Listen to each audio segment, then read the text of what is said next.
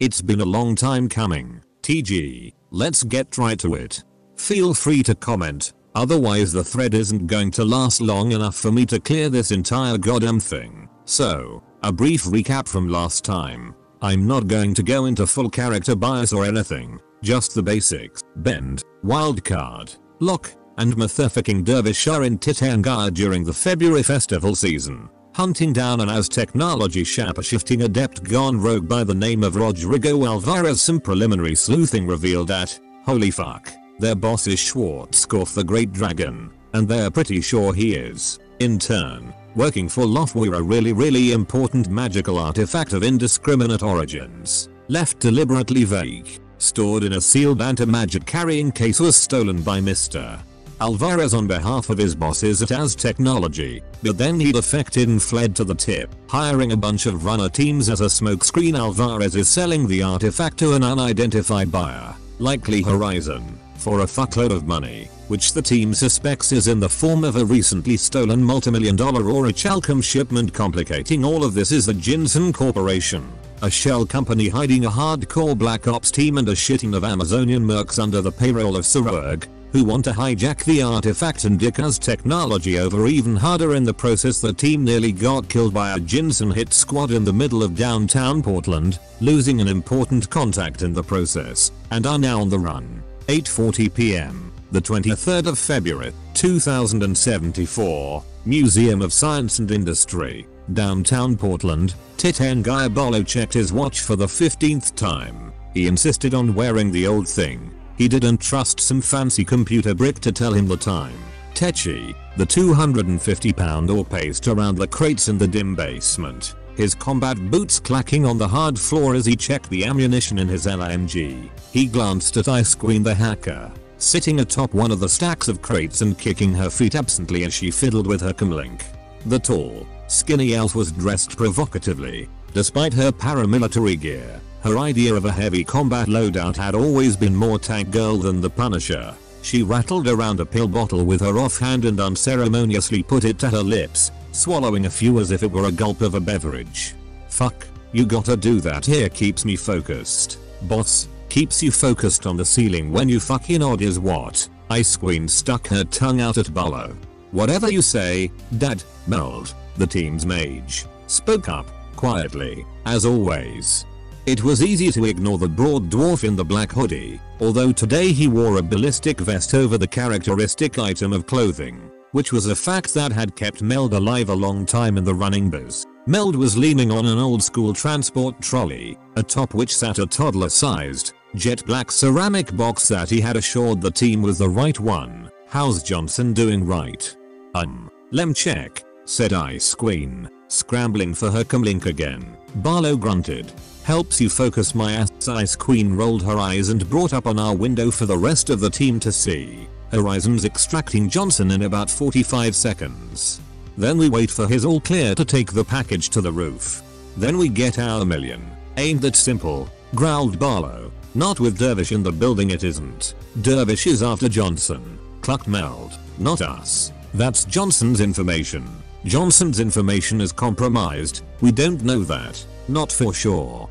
What happened to the Nightingales could have been a bad coincidence. Grow the fuck up Ice Queen screamed, putting her hand up. Cool it a bear bulb flickered once as the orc and dwarf looked to their teammate. Johnson gave us the go ahead. We hand the package off to the German running team and then we're home free. Barlow blinked. Arts live. Then op is live. I hear something. The elevator dinged as it settled into the basement, surprising the three runners, who hastily scrambled for cover.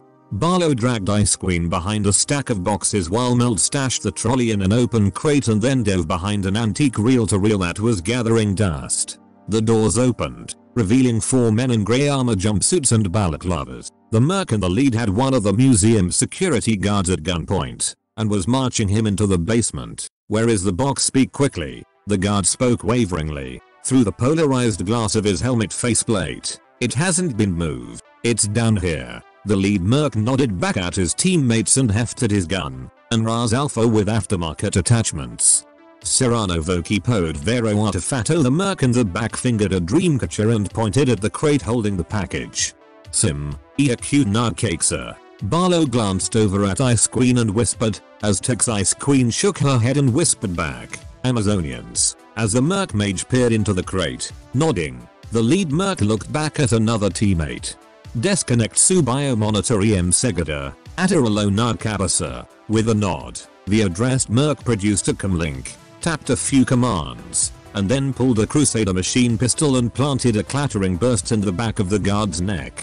Brain and bone dribbled from the polarized faceplate as the guard crumpled onto the tile floor. Fucking hell. Hissed Ice Queen. Backdoor on the security system and jammed the elevator doors open, commented Meld, calmly, over the team's TACnet. We'll hit them when they all clump up. Barlow nodded slowly.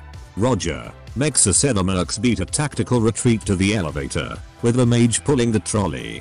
As the merc hacker pressed the door close button and nothing happened, the rest of the mercs instinctively glanced towards him. That was the opening that Meld and Barlow needed, as Meld planted a stun ball right in the middle of the elevator, and Barlow followed up by popping over his crate, setting his LMG at shoulder height, and then opening up on the stumbling figures within the elevator.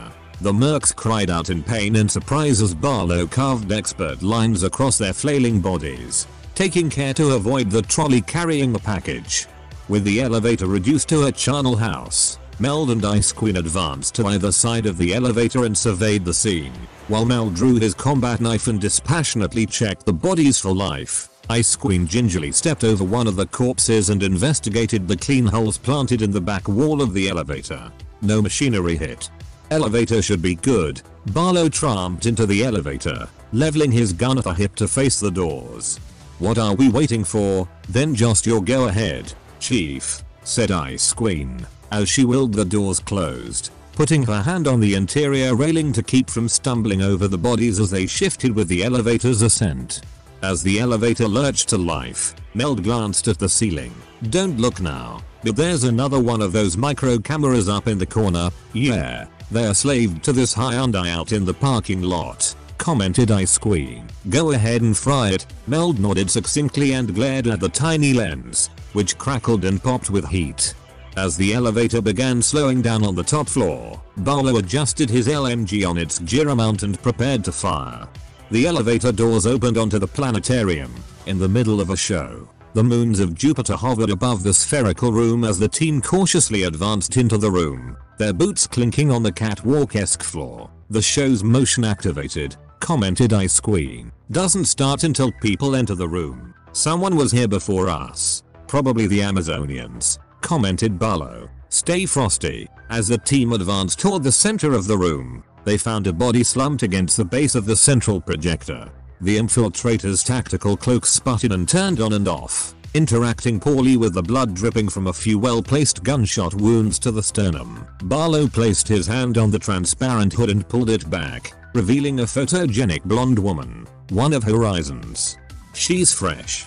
The Amazonians definitely came through here. Doesn't mean that there isn't anyone else, retorted Meld, pushing the trolley towards the roof access stairs. Barlow wordlessly backed toward the stairs, moving to cover his team. As the team advanced up the stairs, with Ice Queen helping Meld to lift the trolley, Barlow shifted ahead in the thin concrete passage to deliberately block access to the package if they were double-crossed. He knocked twice on the roof access stairs, which were unlocked and opened after a short pause by a broad, Slavic-looking orc with a shaved head and obvious Sybaris decked out in a suit of black ceramic tactical armor. Barlow surveyed the situation. Debris fluttered across the roof, spurred by the still spinning dual counter rotors of a jet black transport chopper, retrofitted with twin miniguns that gleamed in the electric light of the Portland sprawl. Six men in matching black combat armor were set up at firing positions across the roof. Four in each corner, one guarding the helicopter, whom Meld swiftly marked on the TACnet as an adept, and the one holding the open door, the seventh man, who didn't match the mold, was a harsh-featured German human in urban camo paramilitary fatigues who jogged up to Barlow. A series of hermetic foci dangled from his bandolier as he slowed his pace, surveying the package behind Barlow as if the orc wasn't there. The air around him crackled with energy. Herman der article ist gut informieren Sie uns Arabic a lot of new languages today, grumbled Barlow, as he approached the mage. Are you Quake Yak? That is me, said the German. nodding. Give us the package, like arranged. Hold up. I need to make sure that my team doesn't get double crossed, said Barlow, holding a hand up. I'm going to have my team take up firing positions as I do the handoff from the cover of the stairway. The German's face hardened. They don't have time for this. Hand it over. I know enough to know we're in over our heads. If you start shooting, the deal's off. Quake seethed as Bolo retreated into the tight stairwell. As Meld lifted the package to his grasp, a voice shouted from the darkness of the planetarium. Nobody move the handoff is off Barlow sighted the goggle flare off a lithe elf in a tactical cloak taking cover amidst the seats in the planetarium. His finger hovered over the trigger, although the next call stayed his hand. If anyone so much as raises their gun, I'll blow you all to kingdom come Quake shouted, over Barlow's shoulder. It's a bluff I had my men sweep the roof and they didn't find anything the elf decloaked and held a hand over his cover, clearly gripping a detonator. He shouted back, there's a comp-C pipe bomb under the rooftop staircase. Have your hacker check it. Ice Queen glanced under the stairs, paled, and looked back up at Barlow and Quake, as Meld kept his hands up. There's a box down there, wrapped up in ribbons like a Christmas gift. Quake shouted, enraged. That's because it's a bluff Meld spoke up, quietly. He is a Buddhist mystic adept. I read this guy's dossier. Barlow. He's a pacifist. You're fucking sure about that Quake growled. Quietly enough for the elf to not hear. I have the same information. He's on Dervish's team. Barlow squeezed the trigger of his LMG, tearing apart the chairs that Bend was using for cover and sending him sprawling to the ground, spattering the display behind him with gore. Barlow barked, Let's move as Barlow tossed the black box to Quake, who caught it awkwardly. Ice Queen screamed, Boss this is a real bomb as the Trid Phantasm melted away. The real Bend reappeared behind the planetarium's central projector, whimpering through open tears as he clutched the detonator to his heart. Meld's throat caught in his chest as he broke his cool facade to yell, Whoa hey you're a pacifist remember, you're a pacifist him Merry Christmas. What Barlow, Ice Queen, and Meld were reduced to particulate matter as the roof erupted like a volcano, spewing ash, twisted metal, and concrete into the night sky. In the distance, sirens sounded as the T-Terror alert system blared to life. 3.30 pm, the 29th of January, 2074, Lewis and Clark Highway, Tir Tairngire Dervish cradled his once shattered shoulder, which had managed to piece itself back together through the select combination of his platelet factories and Locke's magic. Nevertheless, he had lost a lot of blood, and he felt nauseous and lightheaded as he reclined in what remained of the shotgun seat of the Super Getaway Hyundai. During the healing process, he had kept dropping the passenger side door, and so the team had simply had him force it into the hinges, crushing it into place. As the river flowed to the south of the highway in dissonant serenity, Wildcard asked, darkly, so we're all in agreement. Then Locke nodded. See. Ben paused for a moment, but then nodded as well. Yeah. Let's do it. Dervish weakly grunted an affirmation. A stock phone ring sound effect played as Wildcard called up Schwarzkopf. Mr. Johnson speaking. Johnson, gulped Locke. We're here to renegotiate. Now, said Schwarzkopf, calmly. I don't see why you would so unprofessionally we know about Sirrurg, Mr. Johnson. We know he's after the item. We wouldn't run against you for 200,000, and we sure as hell won't run against him for 200,000. I see. Schwarzkopf sounded disappointed. I believe that we had a miscommunication as to the difficulty of this mission, and I'm sorry that you weren't up to the task. That's not quite the case, Mr. Johnson, said Locke, tentatively. We merely believe that if we're to break one of the core rules of our profession, to the extent that our job security in the field will be jeopardized forthwith, you would like a reward more in keeping with a retirement fund than merely paying off existing debts. I'm glad that you understand, Mr. Johnson. Yes, I believe that I do. I'm going to put you on hold now. There was a long, tense silence. The entire team was well aware that, given Lofwyr's reputation, they were running the chance of having the kill order dropped on them then and there, and everyone knew it. Mr. Ramirez are you still there yes. Mr. Johnson, I've talked to my old friend about expanding the resources assigned to this operation. Locke didn't have the balls to ask Schwarzkopf to continue. There was another pause. He's agreed to 2 million per head, plus a bonus. There was an audible whoosh as everyone in the car exhaled. Thank you, Mr. Johnson. And please extend our thanks to your old friend. Could you please clarify the nature of the bonus in fact? said Schwarzkopf. That is the next order of business. You see, should this mission be a success, as compensation for your imminent retirement, my old friend has offered each of you one wish, within his ability to grant, to be redeemed after the mission's success. Dervish gawked. Like, like a genie. There was a loud clang as Ben slapped him upside the head. Yes, Dervish. Like a genie. If you have any suggestions now, it would help for me to arrange the necessary factors. A single beaded tear ran across Wildcard's unmasked neck, a brief souvenir of his prior certainty that he would be eaten. Are you serious, Mr. Johnson quite? Let's start with you, Mr. Ramirez. Since I suspect that yours is the most obvious, Locke nearly blurted out, I want the bounty called off. And I want a stable job somewhere that I never have to see an Aztechnology billboard again. Yes, that's approximately what I expected. Mr. Cadbury Wildcard said, I want a pointless government position somewhere that I can use as a cover for a criminal fixer network, filling in the talent gaps between syndicate contractors. I want to run heists from Manila to Tokyo with impunity and be untouchable for it. Schwarzkopf paused. So you don't want out of the criminal life I want further in, said Wildcard. Very well. Mr. Colby I want back into espionage, and the authority to pick my own jobs in the hierarchy. A scribbling noise suggested that Schwarzkopf was writing the wishes down on a piece of physical paper. And you, Dervish Dervish took a moment to think about it. I wanna be a company man. Not some stooge, somebody rich and kick-ass, like Alvarez. And I wanna meet my real family, I guess, with your talents. I'm sure that it can be arranged, said Schwarzkopf. Very well, gentlemen. I hope that you are pleased with the renegotiation, and expect to hear a report of your success very soon. Yes, Mr. Johnson, said Locke, trembling, as Schwarzkopf hung up. The team had a few minutes of driving, under the speed limit, for the first time in Wildcard's criminal career, to recollect themselves.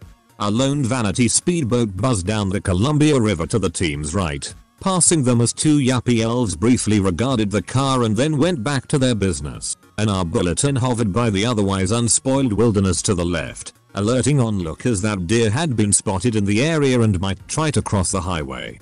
An 18-wheeler passed by in the opposite direction, honking twice at a bank in the road. We need to go back, gulped Wildcard. I promised Belfast I'd helped him with a bank robbery. Yeah, said Ben, glumly.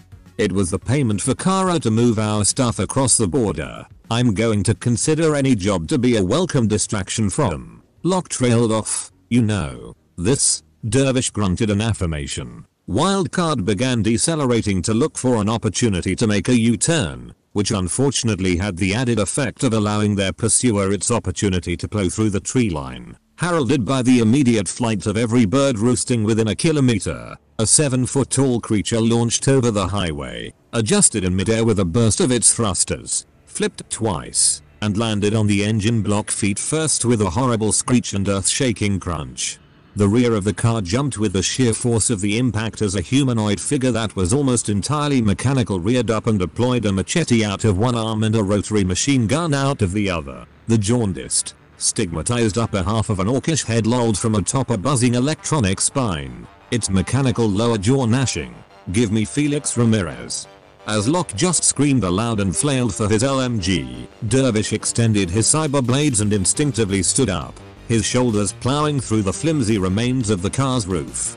The cyber zombie's machine gun spun to life and began firing wildly as Dervish grabbed it by the arm and forced it to pepper the river with shots. The cyber zombie stared at Dervish, its unadorned red cyber eyes rolling across his features.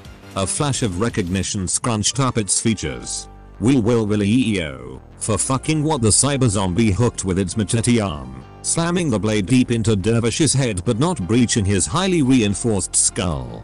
Nevertheless, Dervish catapulted off of the veering car, slamming into the ground and rolling as he trailed blood from his brow. The cyber zombie ray focused its attention on the vehicle and was promptly knocked off itself as Ben nailed it right in the sternum with a burst of fire from Dervish's shotgun. As the car swerved to a stop on the shoulder, the cyber zombie did a backflip, settled into a low hover over the highway, and then began pouring rounds into the left side of the car, blasting off the driver's side door and prompting Ben, Locke, and Wildcard to take cover behind the hull of the vehicle. Dervish stumbled to his feet 50 meters away, wiping a prodigious amount of blood from his face. Why do cyberzombies keep calling me that? Do not in an interfere will I the fugitive hand over the fugitive Locke slammed his bipod down on the wrecked hood of the Hyundai and proceeded to work his way through a drum of apps in response, continuing to scream at the top of his lungs, as Wildcard and Ben scattered, flinching at the impacts as though it was reacting to being pelted with softballs. The thing slowly turned to face the car again, its jaw lolled open, snake-like, as it produced a rocket-propelled grenade launcher from its upper chest and folded its inhuman head down to aim it. The orcish face tore and bled further.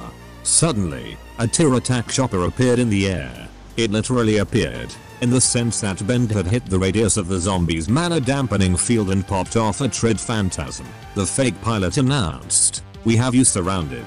Stand down, with an awful snap. The cyber zombie's head neck rocket launcher spun 180 degrees and launched the grenade at the chopper, whereupon it proceeded to sail right through and fly into the afternoon sky.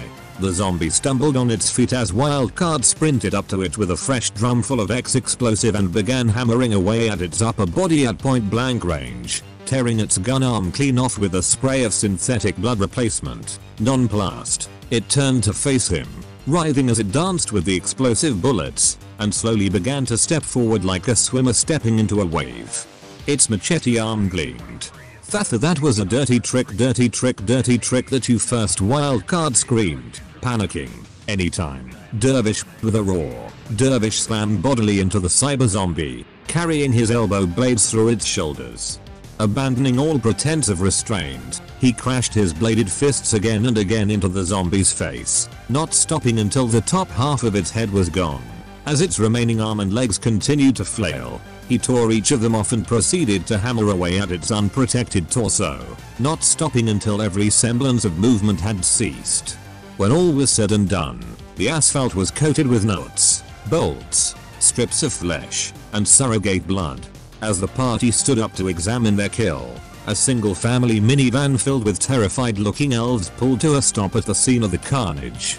Wildcard made a circular as you would gesture with his forefinger, causing them to speed off towards Portland.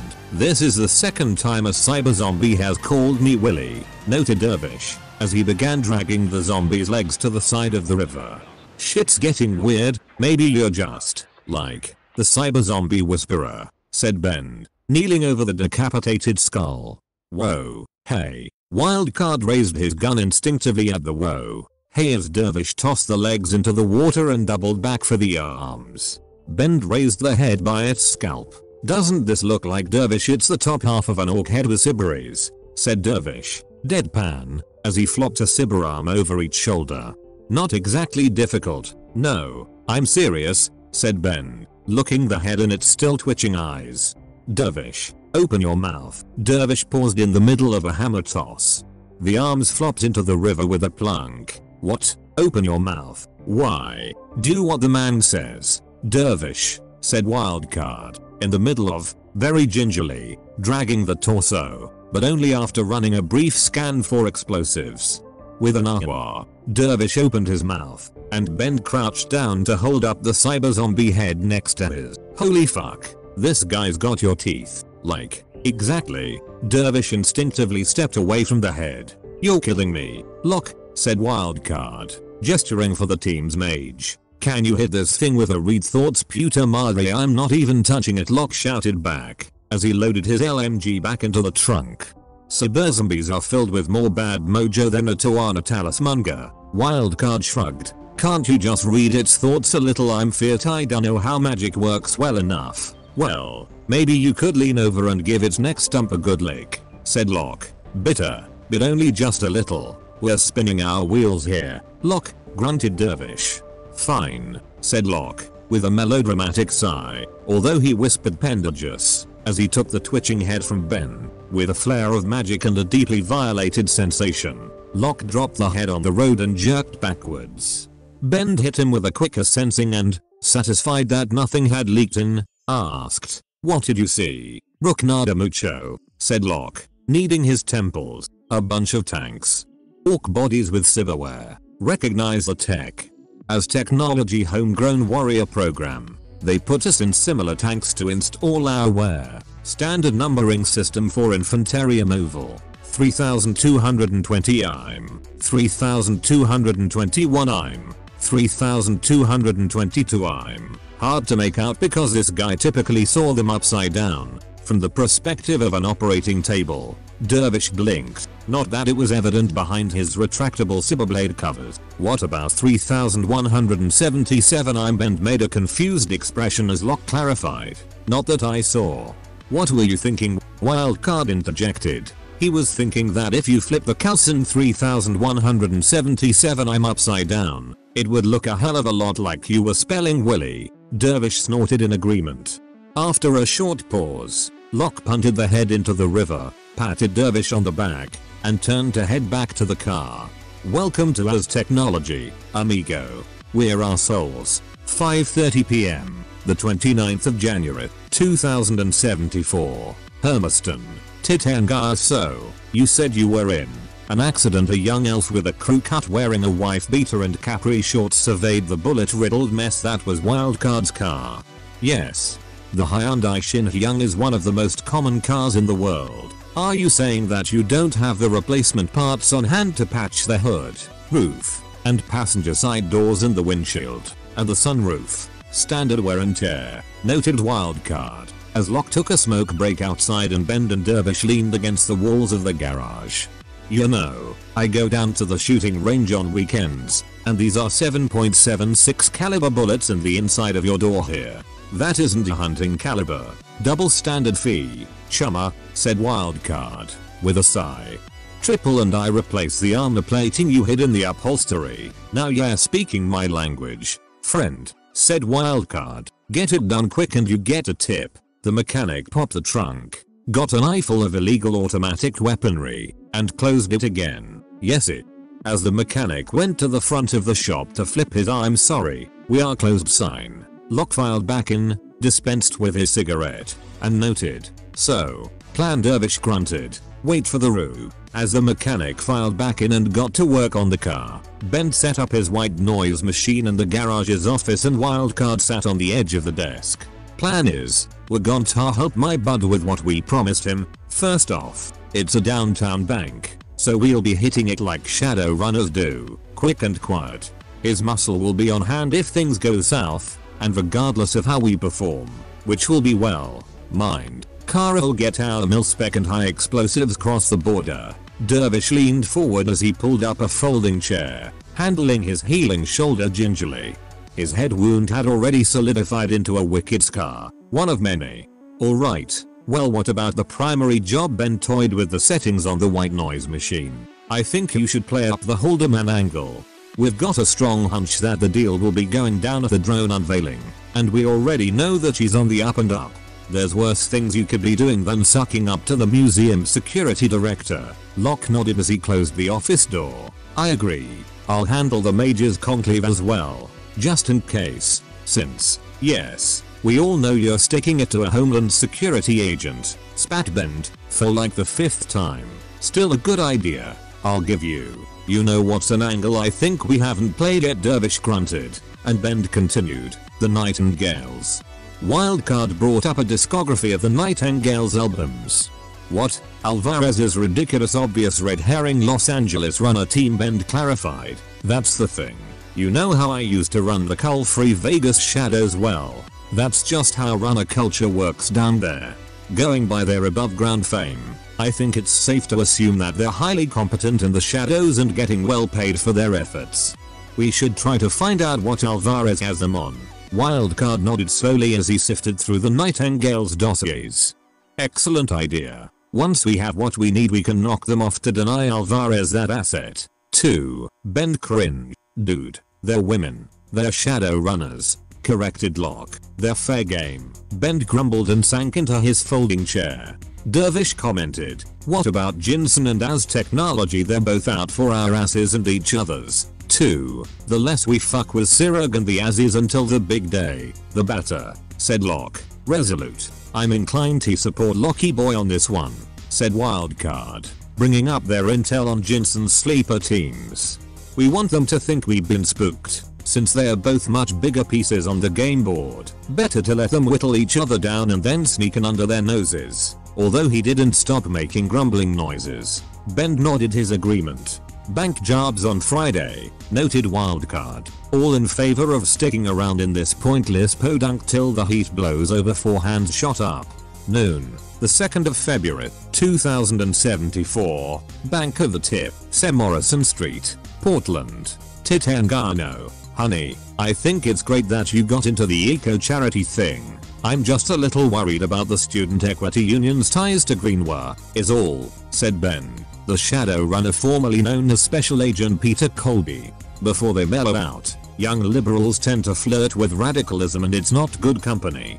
Believe me, I've been there, as Ben adjusted the microcharges placed on the seams of the data vault that held all the in-process cred sticks. Emily responded, yeah, uh, don't worry, Sean, my student politics phase is behind me. I just want to make sure that, like, I'm doing all I can for the environment. You know also, if I can totally show up Jennifer from the young technocrats, all the better. Negativity breeds negativity, lectured Ben, as he finished with the charges and slapped a small black box onto one of the external servers. Look, baby, I gotta go. I'm at the bank and they're about to call my number. Okay, fine, said Emily, as the black box blazed to life and began siphoning cred into the hardened server van in the outside alley. Hey, did I tell you my application went through for that philanthropy work and Lagos Ben scowled as he switched to the other line briefly. Hey, wildcard, the boxes and the charges are in place. You're sure that we can't just make it out of this one without being detected no can do. Knife ears, chuckled the Scotsman on the other end of the line. Either we jam them and they know, or their hard room spider catches the increased data traffic. Still, keeping it silent for as long as possible, that we can do. I still think we should have hit the spider first. Growled Ben, would have had to go out early. Damned if you do, et fecking cetera. Keep your eye on the prize, Ben, and stop using your subvehicles for personal calls. I can hear all that shite. Ben hastily switched lines again as he neared the thick grate that separated the server room from the bank floor. He had piggybacked on a large deposit a few hours ago in the form of a wombat and had been hiding in the server room since, although with Locke, Dervish, and Belfast's crew walking through the front doors his prodigious subtlety would soon be for naught. That's great, Emily, but you know how I feel about Lagos. Look, I gotta go. I'll be fine. Sean. I love you. Ben got through I love you T when Dervish plowed headlong into the security spider's black box armored cubicle, pulled him bodily from his nexus, and slammed one of Wildcard's satlinks into the computer. Ben hastily hung up as the security doors slammed shut. Ladies and gentlemen, announced Belfast, his voice augmented by a loudspeaker voice modifier hybrid in his mask. This is a robbery. If everyone would please line up with their hands over their heads in an orderly fashion, we can relieve you of your cred sticks and be out in 10 minutes. There were a few muffled yells as Belfast's men plugged the startled guards with gel rounds from their SMGS, quickly moving to disarm the twitching bodies. Predictably, everyone put their hands over their heads. Everyone except one middle-aged Texan standing at the bank counter, sporting a whole new host of muscle augmentations and in the best shape of his life. His Sibri spun and focused on Dervish, narrowing with a whir over his bushy mustache as he sighted his adversary's American flag shemagh. Dervish. Dervish released the unmoving spider from a sleeper hold and tried to identify what he was seeing. Holy fuck, it's hero cop guy, Captain Joseph Green. Freshly enlisted in Knight Errant last year because I felt I had lost control of my life, said the Texan emphasizing every word from loss to life as he shrugged his muscular arms and reached for his sidearm. Belfast's goons glanced to Dervish, who simply shook his head no and held a hand out. Really sorry to hear that, Joe, said Dervish. How's that working out for you real well? Actually, said Green, who noted the guns trained on his predator hand and didn't move to draw, despite his ever narrowing brow, said they ain't ever seen an old man so motivated to fight crime. Course, they had to fill me up with augmentations, you know, make me competitive with the young bucks. Dervish stepped towards Green nonchalantly. You find that doesn't interfere with your personal life nor. The R&D monkeys over at Ares warned me that all these, watcher Callum, prototypes might have side effects, but I ain't seen hide nor hair of them yet. Wife's pleased, too, and not just cause I got work again. We went on a second honeymoon to the tip. Dervish flexed his inverted cyber legs, rising and lowering on avian feet. The bystanders began slowly lowering themselves to the floor, not wanting to be in the line of fire if anyone started shooting. I can see that, Joe. So, I'm going to cut this little coincidence short. I'm imagining that you want to beat my face in more than anything right now. Green looked to the goons on either side. About right. And I'm invested in these boys robbing this bank with little to no collateral damage. So I really don't want to play the hostage card. Green nodded. I imagine you don't. Well, I think I got just the thing for that. Courtesy of my buddy working the servers right now. Ain't that right? WC with that. The emergency shutter covering the front door lifted, grinding and creaking to the sounds of distant sirens. Dervish stepped outside of the bank and settled into a fighting stance. Well, done. Guess there's still honor in the world today, said Green, as he ran towards Dervish. Happy second honeymoon. Thanks, bud with that. Green activated his skimmers and boosted into a full body haymaker, smashing Dervish jaw first into a parked car and irrevocably destroying its driver's side wheel well. The security shutter slammed shut once more as Belfast's goons got to ferrying the ill-gotten loot out into the back alley and Locke went to work melting through the security grate to allow Ben back into the lobby.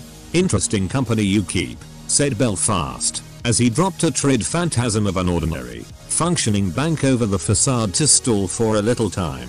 They're quirky, but effective, agreed Wildcard, from his safe position at the rooftop of a financial firm three blocks away.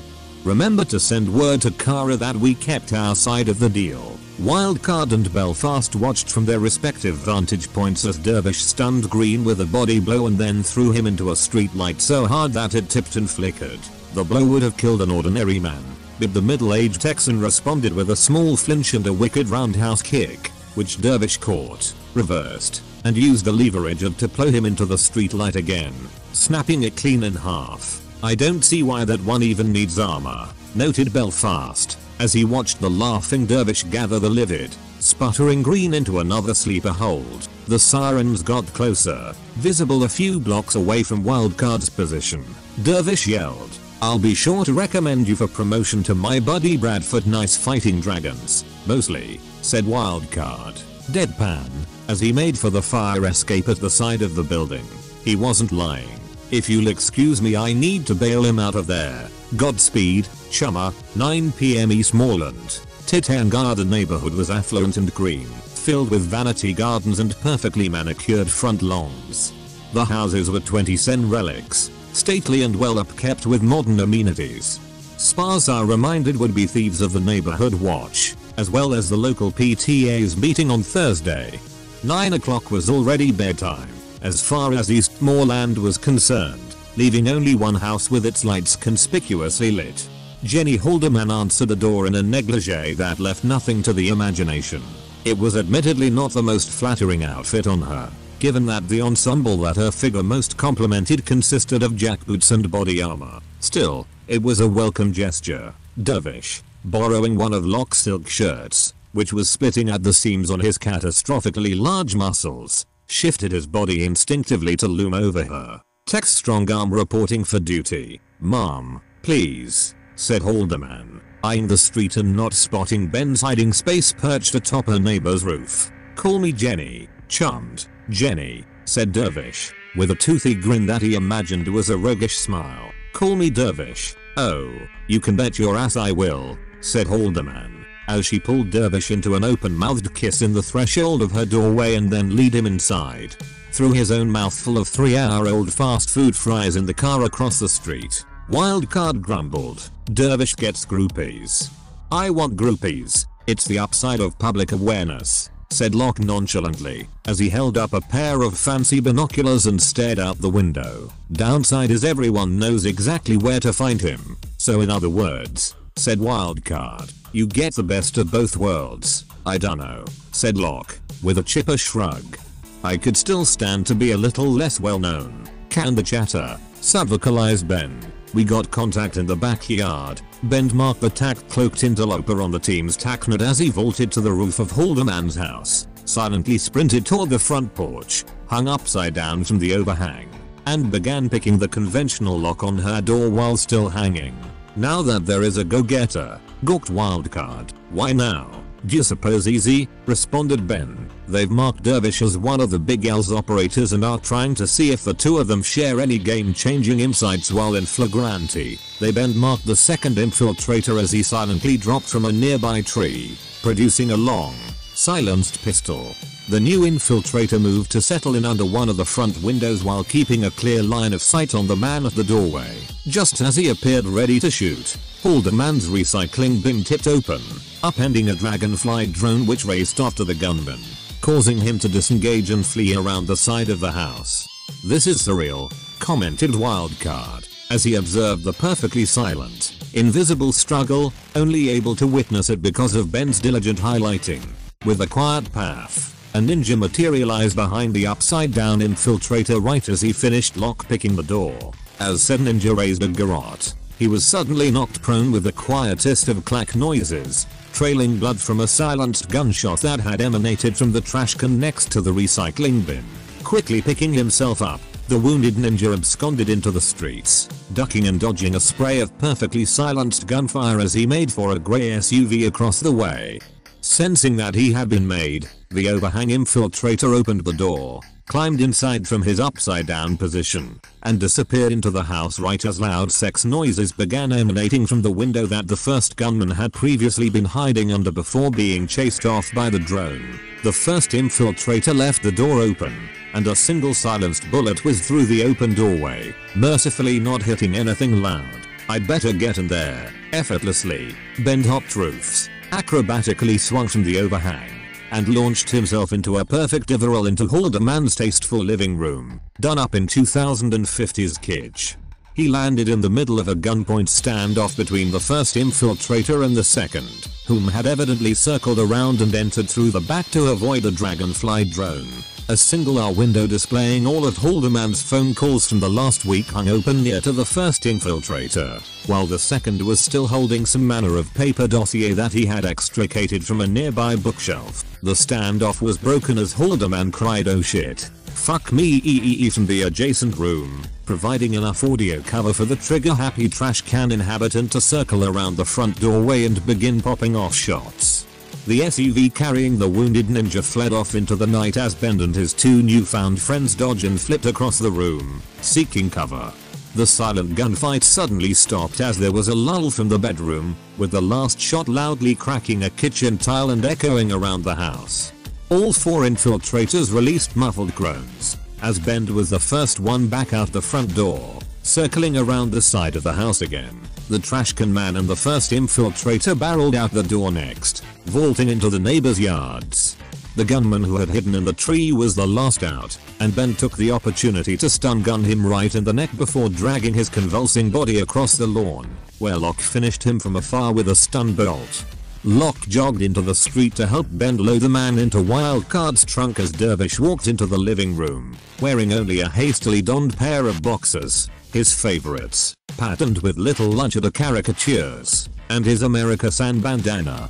He yelled, hey, I think you didn't lock your door right. It drifted open. Weird, as Dervish gave the team a thumbs up and a wink from across the street and closed and locked the door. Wildcard finished screwing the silencer onto his predator, sighted the trash can gunman settling into another trash can, casually walked up to it, lifted the lid, and fired the whole mag of gel rounds down into it. He lifted the lid again, reached in, and pulled the groaning man's mask off as his pan scanned the interloper's face.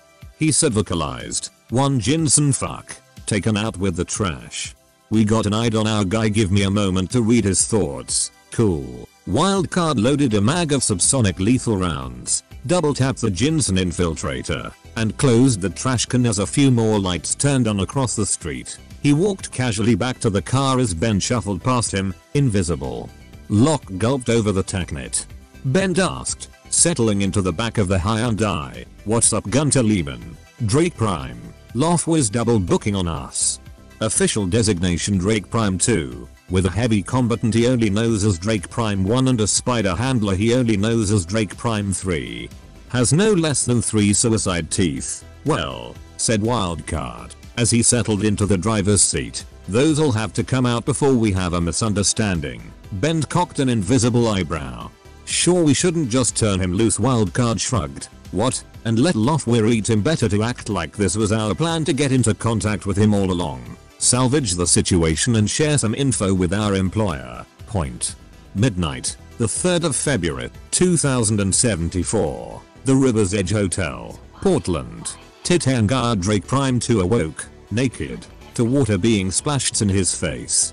Instinctively, he attempted to bite down on his suicide tooth, then his two backups, only to find that all three had been removed and carefully sutured up. He then attempted to activate his own cranial bomb, only to find it disconnected. Finally, he groggily attempted to flip into a fighting stance, only to end up carrying the sturdy aluminum chair he was firmly cuffed down to the floor with an awkward clanking noise. You quite done. Fanny Ball's wild card put the bucket down by Lehman's head and crouched to make eye contact, or as close as could be approximated through his polarized lenses as his prey lay face down on the bathroom tiles. We took out all ya kill yourself bizzo when we melted you last night. From there it was just a wee little dobber to the burn side. And here we are. You. Grunted Lehman.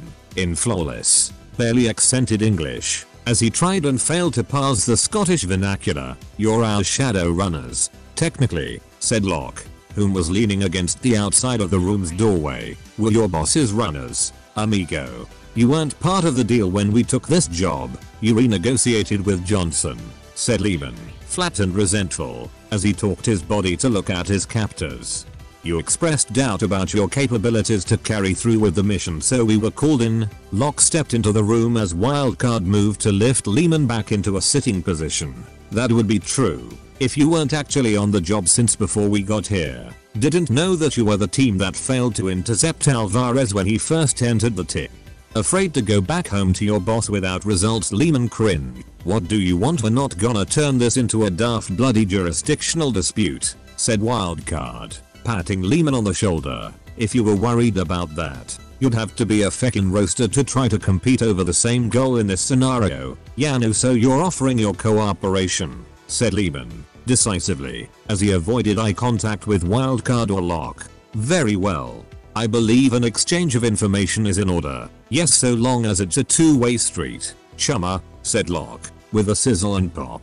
Lehman's cuffs disengaged. As you wish. Lehman's words were pointed as he stretched his back and massaged his aching wrists. I assume that you've already identified Alvarez's tradition and possible aliases. Path of the Wheel. Most likely aliases Peter McKinley, Larry Coben, James Lynch and Harrison Graham. Lehman shook his head. Take Graham off the list.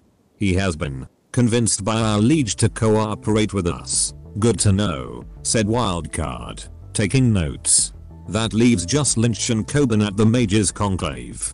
Between both of our groups we can shadow each of them. Lehman nodded, resolute, as he settled back in the chair. His nudity did not seem to be bothering him. If Alvarez is planning on replacing one of them for the drone unveiling, he may very well have not made his move at all yet. We have reason to believe that he has chosen the drone unveiling, as we intercepted a communique between the target and a combat mage named Quakers to a rendezvous at the Museum of Science and Industry. That backs up our suspicions. Agreed wildcard. We identified the runners who were caught breaking in last week as being on Alvarez's payroll. However, our mutual friends in the field have the same intel. You mean the destroyers Locke nodded. We know them as Jinsen Corporation. Just because all signs point to the drone unveiling, noted Lehman, doesn't mean that the Mages Conclave isn't a possibility, just a lesser one, commented Wildcard. Anything else nothing vital. Well then, said Locke, standing to the side. Have a nice night, Mr. Lehman. Your clothes are on the couch. Cursing up a storm in German.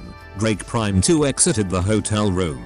We've got three days till the conclave, noted Ben, finally materializing from his hiding spot in the hotel's closet. Sounds like just enough time to deal with the nightingales, said Locke, with a grin. Ben crossed his arms with a frown. How are we going to find them oh? That part's easy, chortled wildcard. Bringing up the band's page 2.0 fan page. 10.15am. The 4th of February, the Heathman Bar, Portland. Tir Tairngire Tulip's fashionably and restrained black hair fell about her shoulders as she surveyed the bar. She and the Morrigan, her particular interpretation of the dark goddess mentor spirit, shared a metaphysical commentary on the nature of various men present at the bar this early. The discussion frequently came down to whether they'd make a good fight or a good lay. She and the Morrigan both agreed, most men who started drinking at 10 in the morning wouldn't make much of either. She continued to drink the world's most expensive Bloody Mary as she waited for Echo to finish parsing the data that Johnson wanted on the Amazonian chucklefucks who had been coming after them for the last few days. She wore the same little black dress that she had worn yesterday. It fit as well as ever. Over at the table where Echo was zonked, Gillette's delicate, lethal titanium fingers danced across a fork and knife as the old school razor girl munched on a single order of eggs benedict. She actually required fairly minimal calories, so this would serve as her food for most of the day. A lack of any organic limbs tended to cut down on metabolic needs. Where's Tweakat Tulip lazily subvocalized over to the street samurai. Gillette yawned, angled her beautiful alphaware cyber arm to take another bite, and subvocalized back. Her voice as ice cold as her eyes, ears, and limbs. She ran out of nitro. Again. Tulip groaned and placed her empty glass down on the counter. Girls lucky that so many dealers are in town for festival season. Gillette rolled her featureless chrome Sibaris. It was a purposeful gesture, meant to express emotion that wasn't really there so that Tulip would be more comfortable. Girls really lucky we haven't kicked her temper ass out for being such a little junkie, says class I cyber psychosis incarnate. Gillette round, dully hurt. Hey, I take my meds, just joking. He Tulip glanced towards the party being seated at the next table over. What do I think? Gillette fight or fuck Gillette grinned uncannily, revealing gleaming white, natural, teeth beneath her thin lips. The little Hispanic guy, or the big orc because I'm all over the orc. Tulip tossed a saucy glance back to Gillette. You didn't answer the question. I choose both. You can't choose both you have to choose one with that. Echo left her technomancer trance and said aloud, pouting. You guys are being really gross. After a second or so of awkward lag time, Gillette affectionately tousled Echo's bleach blonde hair with her glimmering palm. Tulip, whose idea was it to bring a 16 year old along on a prime run again Echo pouted even harder as Tulip laughed aloud and finished her drink. Mine, for the umpteenth time. Technomancers of her caliber are hard to come by. The shamelessly matrix addicted high school prodigy grinned and dropped back into net space, her eyes lolling as she slumped in her chair. She makes the weirdest faces when she does that, observed Gillette, before taking another bite of her eggs benedict. How about you Tulip batted her eyelashes flirtatiously as she gestured for the bartender to bring her another drink. How about me what the guys at the table over there eating waffles? With the orc that I can't have both ways, oh. Tulip spun on her bra stool and shot a roguish smirk at Gillette. I want the Hispanic guy. Lucky you, snarked Gillette. He looks like he wants you too. As Locke approached the bar with a sheepish smile, Gillette closed comms with, although you didn't say whether you wanted to fight or fuck. So, said Tulip, twisting her glass between thumb and forefinger, what's your line? Handsome I hadn't decided yet. I was thinking something disarming and a little self-aware. Locke plopped down onto the stool next to Tulip, swiveling to face her. Nothing seems to be coming to mind, though. Tulip glanced knowingly over to the large orc, who had stood and approached Gillette and Echo's table. Given the synchronized approach you boys are going with, I get the impression that you were looking for us. It's hard not to, said Locke, as he placed a cred stick on the bar top and then levitated a bottled beer into his hand from the exposed refrigerator. The barman shot him a dirty look, but Tulip was amused. You've got a bright aura. Tulip hissed laughter through her teeth. I ask you what your line is, and you blow it on some stupid mage thing get out of here. Cowboy she flapped a hand dismissively in Locke's direction, bidding him to go, although she was only half serious about it. You're lucky you're so damn photogenic or I'd have slugged you. I couldn't resist the joke, laugh Locke, and I promise you, I'm not going to turn that into a line too. In all honesty, I'm actually here because I need some information from you. Tulip hid her disappointment behind a saccharine smile. We're not really in that business, chumma, Locke just smiled wider. I think I can make it worth your while. My name's Vincent Da Silva.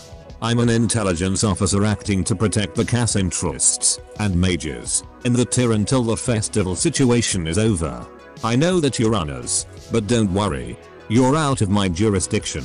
I'm actually here because I've been digging up some skirmishes here between Amazonian and Aztec agents, and I want to make sure that it doesn't spill over politically onto us. He gave Tulip a piercing glare, his voice becoming serious. I'm not interested in what you girls are doing here, so if you could tell us all you know I could negotiate to get some serious material in for you. Christ. You can't just say all that in the open. Locke gestured to a white noise generator which he had surreptitiously placed at the end of the bar. Tulip relaxed, placed her drink to her lips, and downed the whole thing. Okay, you get to live a little longer, handsome. Let's get right down to brass tacks. Business before pleasure. I can admire that, Locke said, with a smirk. I imagine that I wasn't in the wrong to assume that you'd run afoul of our mutual enemy if you're talking about Jinsen Corporation. Synergistic management for a diverse future. Sighed Tulip, rolling her eyes and gesturing for another drink. Then you have no idea. We've got everything you could possibly want to know on those assholes, but it's going to cost you. Locke nodded slowly. If Tulip knew about the fight between Jinsen and his team, she was doing an exceedingly good job of hiding it not beyond her capabilities. But if she knew the threat posed by he and Dervish, then Tulip should have taken the opportunity to initiate the attack the moment they'd been isolated. But, Tulip continued, you get to incentivize me, G-man. I don't sing for free, I don't imagine that you do, grinned Locke. I was thinking I'd squire you about the Mages Conclave. Fine dining and luxuriant treatment all day, and a fat cred stick at the end of it all with you marking every bogey you spot at the conclave. Naturally, there doesn't seem to be a number associated with fat cred stick. Government salary only goes so far, but I'm prepared to offer 5 grand and immunity to prosecution from to Homeland Security for the entirety of your job here, lied Locke. Tulip's eyes lit up. Your influence goes that deep I can call up the agent handling the conclave right now and arrange the details. Tulip shot Echo's table a glance. While Dervish and Gillette flirted animatedly, Echo returned Tulip's look and nodded slowly. She'd compromised Locke's comlink, and the number in question was legit. Locke actually had the relevant to Homeland Security agent in his frequent contacts. My technomancer assures me that you're not lying. Frankly, this isn't an opportunity we can pass up. Locke cocked an eyebrow. Your technomancer shouldn't be hacking my phone. Precautions. Agent Da Silva. Precautions. Fair enough. Why don't we take tomorrow to get to know one another Locke smile and designer pheromone glands briefly pierced Tulip's defenses and she let loose a capricious laugh. Sure. Why not I'm on a sporadic schedule, said Locke, standing and straightening out his rumpled pants, but we'll work something out. Here's my number. Tulip punched the number into her comlink and reached out to accept her next drink. Be seeing you and your big friend. I hope not chuckled Locke as he walked away from the bar. He's got work tomorrow and should know better. Noon. The Heathman Hotel annex Locke, having taken a taxi around the block so as not to be seen directly stepping into the super getaway Hyundai, reconnoitered with wildcard in the hotel parking lot. His gadgets dimmed upon exposure to Ben's smart jammer, placed inconspicuously in one of the cuff folders. What's the score wildcard brought up a photo of a brutalized drug dealer accompanied by the dossier of a wiry but attractive young woman in a leather jacket, Jean shorts, and a pair of combat boots. Meet our weak link. Street name Tweak, temporary infill for another bandmate, who's currently out in Los Angeles with a bad case of corpsec induced coma. Locke nodded.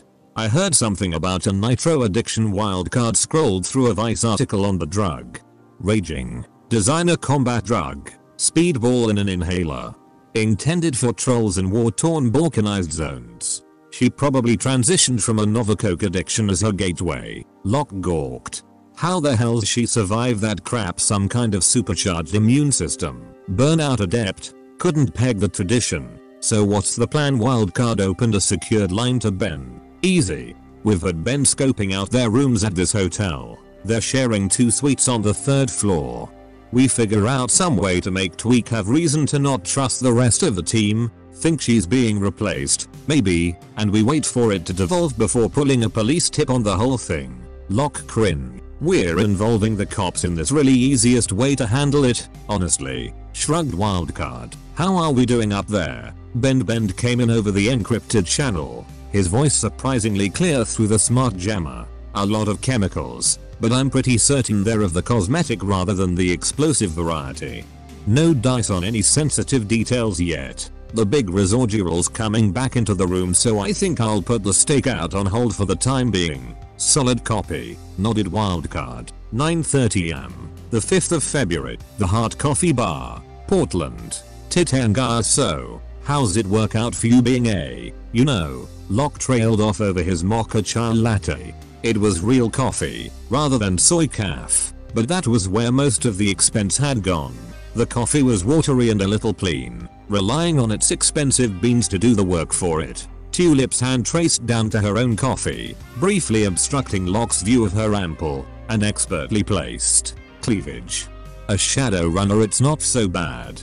A lot of people treat it as if it's the scrounging dregs of the criminal world. No syndicate, no connections, and all that. That's just the chumps. Though, the real experts make enough money to share. Locke, clearly not enjoying his chai monstrosity, tipped yet another packet of artificial sweetener into its murky doldrums. The impression I got from that statement is that you consider yourself an expert. Tulip crossed her arms and pouted. I don't like being doubted. Locke put his hands up in apology. Hardly I just don't have a lot of experience with your side of things, is all. Well, you're in the hands of the best of the best. Sighed Tulip. Even if the best of the best is currently making a premium to rat on a bunch of mert chucklefucks. Speaking of which, said Locke, reaching into his pocket. I have your two and a half grand for forward expenses right here. I imagine that's good form Tulip rolled her eyes and scoffed, although her posture eased. God, you're such a square. Good form would have you in mirror or shades calling yourself Mr. Johnson. So Gosh Locke laughed and finally settled to just swipe his coffee cup off into his periphery. There are some guys who can pull off the look, offered Tulip. I think you could manage it. Despite the job title, I don't go in very much for the spy thing, smiled Locke.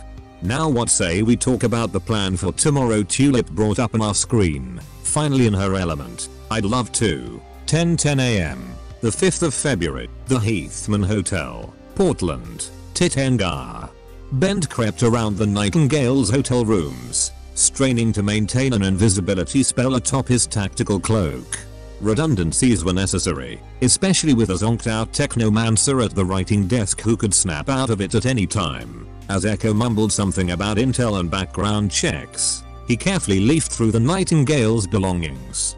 Although they were sleeping in two adjacent rooms, they had left the divider open between them and had stashed most of their gear in a single closet. The drug paraphernalia was Tweek's, obviously, as were the scrunched up soy beers strewn about her unmade bed. Gillette Street Samurai gear was locked away into some manner of custom case, although a little clever lockpicking found a wide assortment of knives and firearms. Echo had mostly packed trendy electronics and kitschy collectibles, reminding Ben that she was, in fact, still a teenager. He would make an effort to spare her if at all possible. Tulip had brought numerous vanity objects and changes of clothing, although there was nothing overtly incriminating. Satisfied, he returned to Tweak's bedside and scoped around for anything that could be used to drive a wedge between her and the team. Although the well-loved leather gun case, with tiny brass plates reading avarice and envy, presumably the names of the twin Thunderbolt pistols, underneath her bed was empty, it did give him an idea. Guys, he subvocalized. I've got this. I'm going to be hanging out in this neighborhood tonight. The rest of you are on the conclave tomorrow with Tulip. The Nightingales will be done by lunchtime tomorrow. Roger. Ben, responded Wildcard. Need anything on your end Ben bailed out the open window flawlessly, without touching anything to make noise. With a front flip, he tagged the balcony with his gecko grips and began his descent. Yeah, actually. Can you call up your cyber doc and just get me a mock-up of a cyberarm blueprint 1130am? The 6th of February, the River's Edge Hotel, Portland. Tir Tairngire Tweak awoke as she usually did, mad at the world and feeling vaguely inadequate for reasons that she couldn't quite put her finger on. Her body jolted into motion moments before her mind did, courtesy of regular, drug-fueled nightmares that interacted badly with her long-ignored adept magic and combined to create a sensation of disconnect akin to full-body phantom limb syndrome. Tweek liked the disconnect for the same reason she liked the drugs and the booze. It dulled the pain of being Tweek, and that made it easier to put the hurt on the poor sons of bitches who took on the Nightingales. Throwing on a tank top and a pair of boy shorts, both from yesterday, she yawned heartily, stood up from her bed, and stumbled into the bathroom. After haphazardly brushing her teeth, she stomped back into the common area, pulled her umpteenth beer from the mini fridge, and promptly rendered the toothbrushing meaningless. Belatedly, her eyes wandered to Gillette's bed. It was perfectly made, which suggested that Gillette had been gone for a while, as always. Rather than bother to peek around the divider and look into the other room, she merely contented herself with yelling at the top of her lungs. Yo Gillette, Echo there was a murmur. Echo get the fuck out of VR Echo grumbled meekly from the other room. What do you want? Tweek wear a Gillette and Tulip wow. Indoor voice. Gillette is off running reckon for Johnson and Tulip is squiring some G-man boy toy around the conclave. Won't that put Johnson at risk we told him to stay put sighing. Echo finally stood up and tramped over to the doorway between the room. She was wearing a set of teddy bear pajamas, which were perhaps a little bit infantilizing for a teenager, but she was a late bloomer. We can trust Johnson to do his own thing at this point, Tulip said. The less we know about the museum handoff the better for all of us. Fucking always taking orders from Tulip, grunted Tweak, as she flopped down on her bed, absently groping beneath it. She's the face, said Echo, sternly. Exactly. Not the leader, just the face. Fucking Hollywood rules. Welder note on out if I knew how this shit worked coming out of the Seattle scene. You're drunk, responded Echo. Always, laughed Tweak, with something approaching mirth, as she withdrew the leather case from beneath the bed. She sobered up quick. Echo responded to Tweak's sudden expression of confusion and anger by taking a step back from the doorway. What's up Tweak looked up at Echo, her expression accusing and hurt. Envy is missing. You're probably just misplaced. I never misplace my guns tweak dramatically stood from the bed and threw the covers off in a single fluid motion, her eyes on fire. Look, you were pretty coked out last night and Tweak's glare shut Echo up as she repeated, I never misplace my guns as Tweak tore up bedspread, then curtains, and finally began pulling out the drawers on the trivia cabinet. A lone wireless signal flitted through space just long enough for Echo to briefly catch it. It was a text message. The message read now.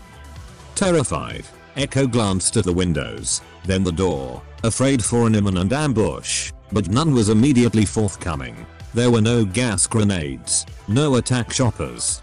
No, the most imminently dangerous thing in the room was still her teammate Tweek, who was standing, livid, with tears staining her caked on mascara, as she stopped in the middle of pulling out another drawer. Tweak became the second most dangerous thing in the room when, with a slam, the door opened and Gillette spilled in. Gillette gasped, with as much urgency as her emotionless facade could muster. I got your emergency signal, Tweak. What's happened Echo realized belatedly that Tweak didn't have her phone. A moment's backdoring registered that it had sent the team's mutual emergency signal from the hotel parking lot, but Tulip hadn't received the message. Stuttering, Tweek pulled Envy from the cabinet drawer, and with it, printed out on real paper, to keep it away from the prying eyes of any meddling technomancers, A glorious, wonderfully optimized schematic for a hypothetical grafting of the Gilded Thunderbolt into Gillette's distinctive cyber arm. Both the gun and the cyber arm were depicted on the schematic in stunning detail. Clearly the work of someone who had a vested interest in observing the mechanical interactions in both. H how long, how long. Gillette held out her arms in a disarmed gesture, but she couldn't help the gleam in her cyber eyes and the instinctive heavy breaths she made as she first glimpsed the schematic. Any proof of her innocence was drowned away in a sudden and crushing onset of her cyber psychosis. Echo watched on with horror, immediately recognizing what the other two didn't, the work of an outsider, playing directly to the team's psychological weaknesses. It occurred to her far, far too late that this hypothetical outsider might have also tampered with Tweak's drugs.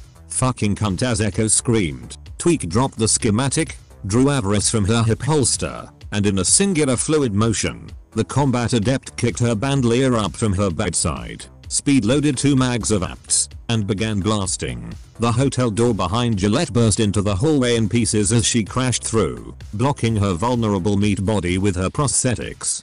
Her right cyber arm exploded at the elbow, its haywire servos sending shrapnel careening across the carpet. Echo's protests were met with speed and fury. Both combatants had the finest in magical and technological reflex enhancers, and so were already fighting for their lives before the technomancer could get the words out. Sliding balletically on her heels, Gillette caught the hallway wall and launched herself directly at Tweak, catching a few more bullets for her troubles and thus only badly cutting the adept's thigh as she stumbled and crashed through the trade cabinet, scattering the smashed hardwood as easily as the papers on its surface. As she launched a heel out to sweep Tweak's weakened legs, Tweak backflipped onto her own bed before catching her wounded thigh wrong and collapsing onto the headboard with a gruesome slam. Cunt slag whore seeing her moment, Gillette silently stood and leapt for her prone opponent, but Tweak, leashing a blood-curdling howl, set her custom pistols to switch ammo from the smart mags and promptly planted two explosive rounds in Gillette's forehead as Gillette was airborne and unable to navigate. The street samurai briefly ricocheted off the ceiling, cracking the light fixtures, before collapsing on the divider between the beds with a pockmarked cyber skull, a ruined cyber eye, and shattered limbs.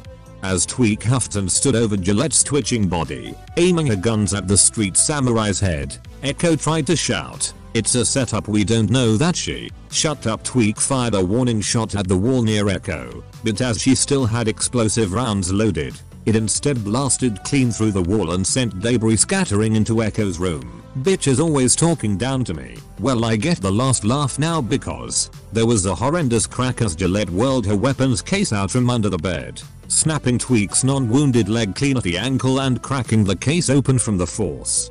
As the howling adept tumbled, guns firing wildly, the samurai produced her katana from the case and leveled it below Tweak's neck. The decapitation wasn't a clean one. As Tweak fell on the bleed, it cut deep through her throat, showering gore on the pastel-covered carpet of the hotel room, but wedged below her skull. As Tweak gurgled and struggled, Gillette spun on the ground and leveraged her weight onto the handle, pulling the blade through and sending Tweak's head careening off into the room with a sound like tearing leather. Sputtering and coughing up blood, Gillette crawled towards the schematics, the new object of her affection. As Echo retreated into her own room, unable to come to terms with what she had just seen, she screeched aloud when she nearly backed into an elf in a set of tack-cloaked military spec armor. The man looked at her dispassionately, his face obscured but for the frown on his handsome jaw. We called the cops 3 minutes ago, Echo. You'll want to get out of here. Ben waited for Echo to calm down. BBB but TT Tulip, she'll be shacked up at my friend's hotel room for at least another hour. And when she gets back I expect you to be gone. Just like Tweak is and Gillette will be. Tears welled up from Echo's eyes as she began bawling, falling to her knees. Ben recoiled, visibly uncomfortable with the turn of events. WH where? Go back to Los Angeles, get a sin and an education. Keep making music if you think it will make you happy. Boots tramped in the hallway. WHY because we're after your boss, and you got in the way. Ben paused. Grab anything you absolutely need and I'll open the window for you. If you take the fire escape it should buy you a little extra time. Echo didn't need to be told twice. 12 am, midnight, the 7th of February. The River's Edge Hotel. Portland. Tir Tairngire the team reconvened in their hotel room, faces grim. Wildcard tossed our windows across the room in a frenetic hurry, coalescing all of the team's newly acquired data. Locke was the last into the room, shading his blazer with a huff. Ben was the first to speak up. How'd it go? Champ Tulip was shattered. Echoes a wall and Gillette's comatose and under police lockdown in the hospital. You think you were made Locke grit his teeth. No. Until the cold reality of it set in, it was actually a pretty nice date. Sorry, offered Ben. Locke waved a dismissive hand. Wildcard asked, what about Lynch and Coburn I made sure to keep my eyes on Lynch, and Lehman followed Coburn all day. They're both clean, for now. With a frustrated huff, Locke added, I'm plugging in the new info on Jensen's armaments and personnel to the DB. They are mostly using a conglomeration of Merc outfits from around the Mesoamerican CZ, but the core group all have similar orgs. Mostly Bioware all-rounder stuff, but there's also some interesting things like hydraulic jacks to look out for. Dervish's eyebrow cocked at the last detail. So we're assuming it has to be the museum wildcard nodded as he pieced together multiple sources of intel from across the run. Harry Dexter, Drake Prime, Schwarzkopf, Jensen themselves, Haldeman and the Nightingales. Even a master stealth adept like Alvarez couldn't pull a hoax this big. There are too many compounding factors. I know so, responded Wildcard, tapping the back of his own cranium to indicate his meathead rather than the ever-present mask. Custom made for micromanagement. With that in order then, said Ben, slowly, let's go over what we're all going to be doing to prepare for the 23rd. We've got a little over two weeks. You're going to be working with me, said Wildcard. Familiarize yourself with the layout of the Museum of Science and Industry, inch by inch. They are going to be doing a security sweep right before the event and I need you to install a few hundred stealth cameras in between the sweep and the doors opening to the guests. I assume I'm in charge of procuring the cameras wildcard just nodded silently at Ben. Right.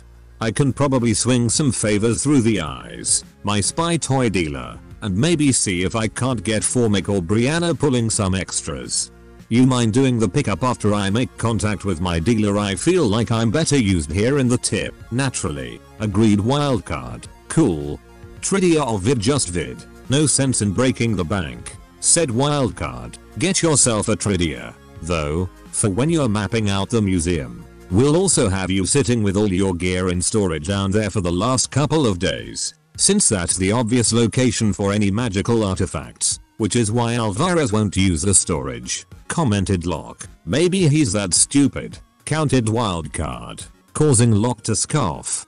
Locke asked, Okay, so how about me simple, said Wildcard, your bait. Locke blinked. I'm what? Well, not entirely. You'll serve multiple functions, however.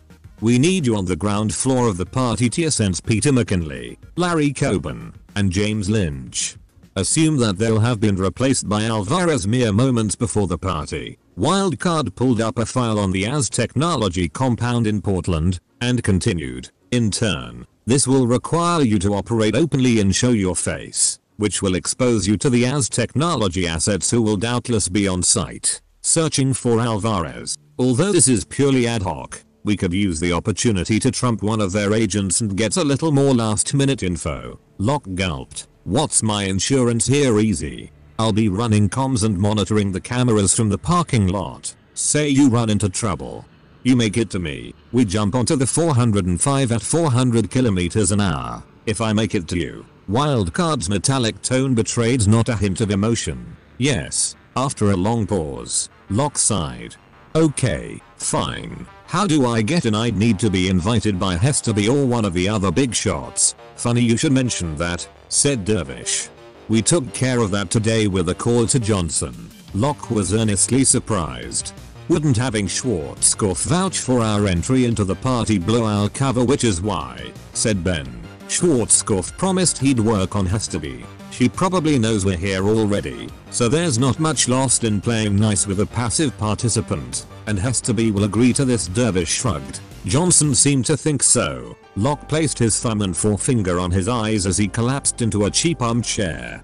What was this about not making deals with dragons again? Dervish chuckled. We're already double fucked. Why not make it triple besides? It's just an invite. Fancy stationery and a tuxedo. No scales off her back. Speaking o double fucked. Interrupted wildcard. Let's talk about your role. Dervish. Dervish made a non-committal grunt. You're going to do exactly what you've been doing. And that's to act as a provisional security guard at the museum. You're on. Wildcard coughed. Good terms with the head of security. And it'd be a shame not to use that. What about my armor and weapons? Dervish glanced over at the heavy roller suitcase that contained his sniper rifle, shotgun, and disassembled America San armor. Nestled near the hotel room's bathroom, Wildcard pulled up a few rent-a-car websites, tossing the R windows over to Dervish.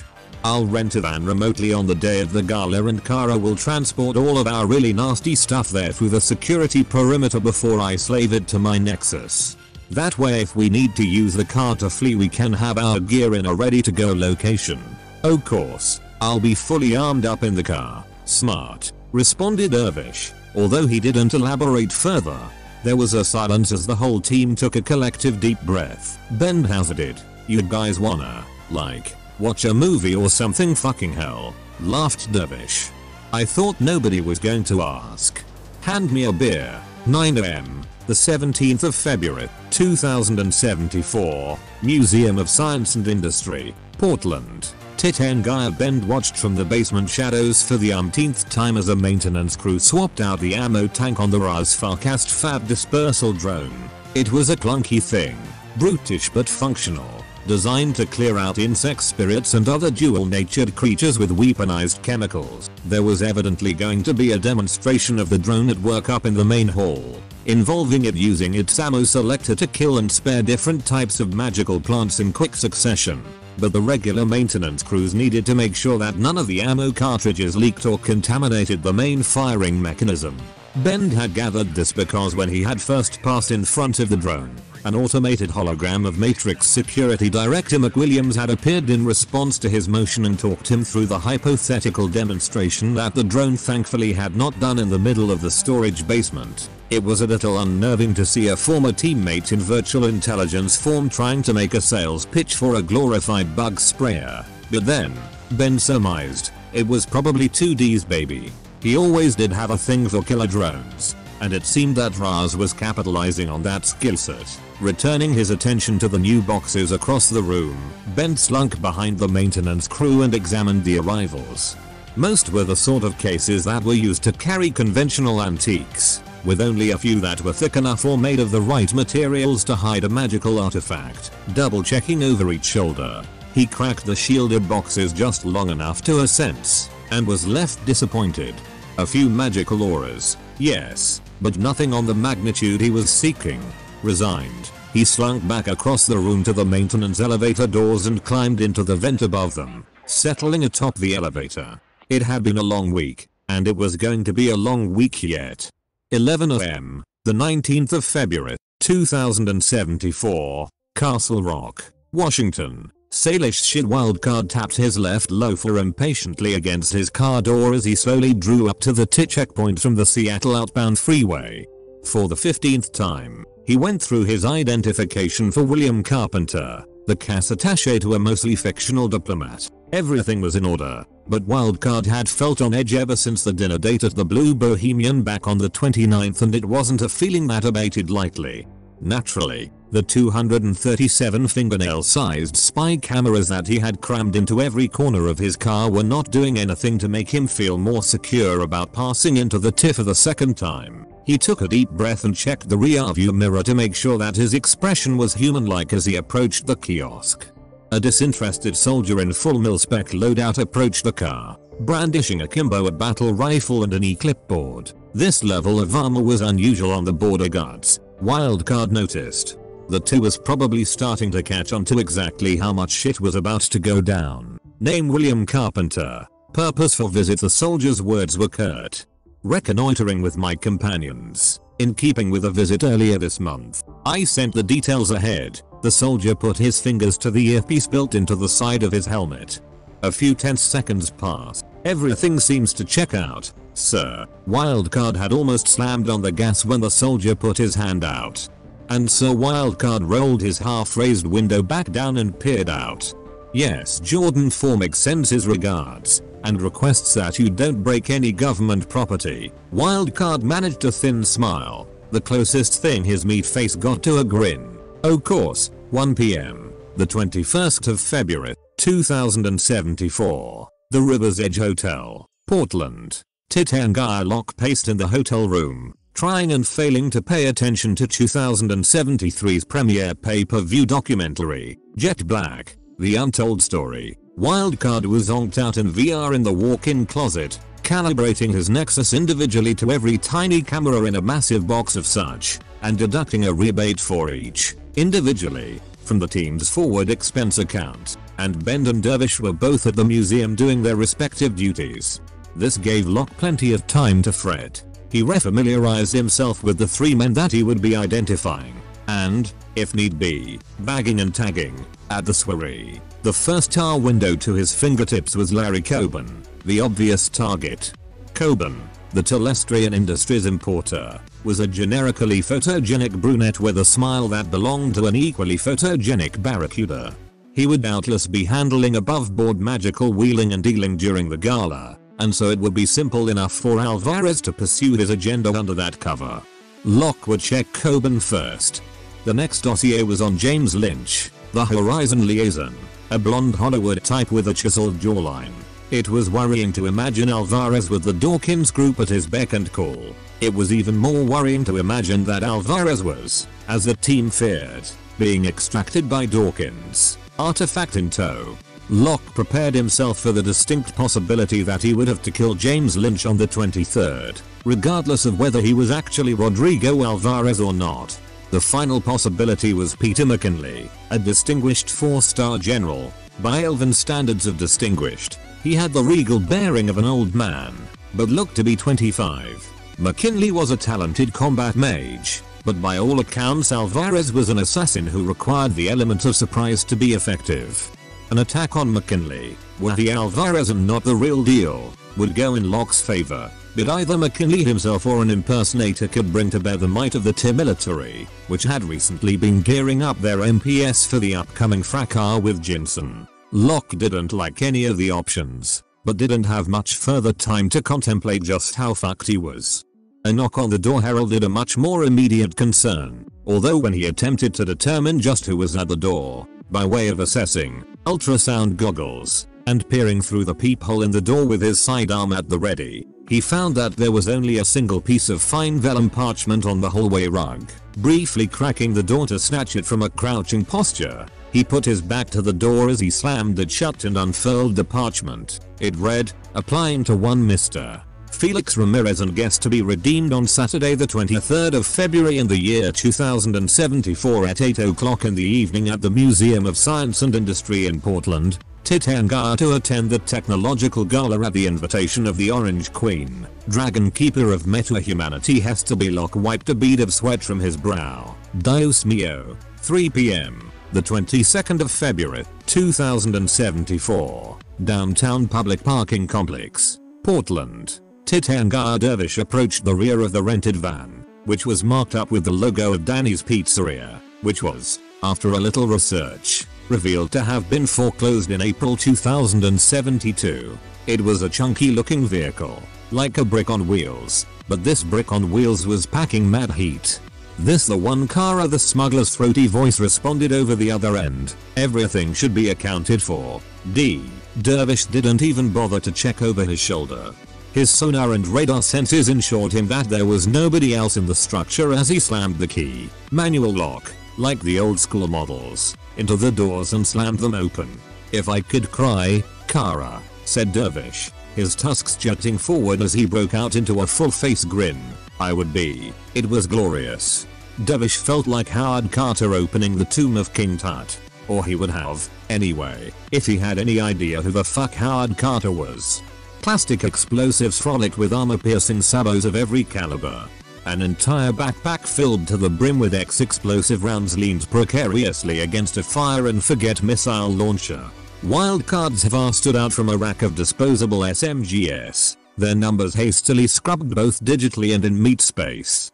Locke's LMG sat atop a pyramid of breaching tools, a greater testimony to the glory of his gods than Tenoch Tenochtitlan ever was. Crossed in the back like a pair of duelist sabers were Dervish's over-modified shotgun, attached grenade launcher in tow, and anti-material rifle, each an instrument of death at ranges that the other couldn't manage.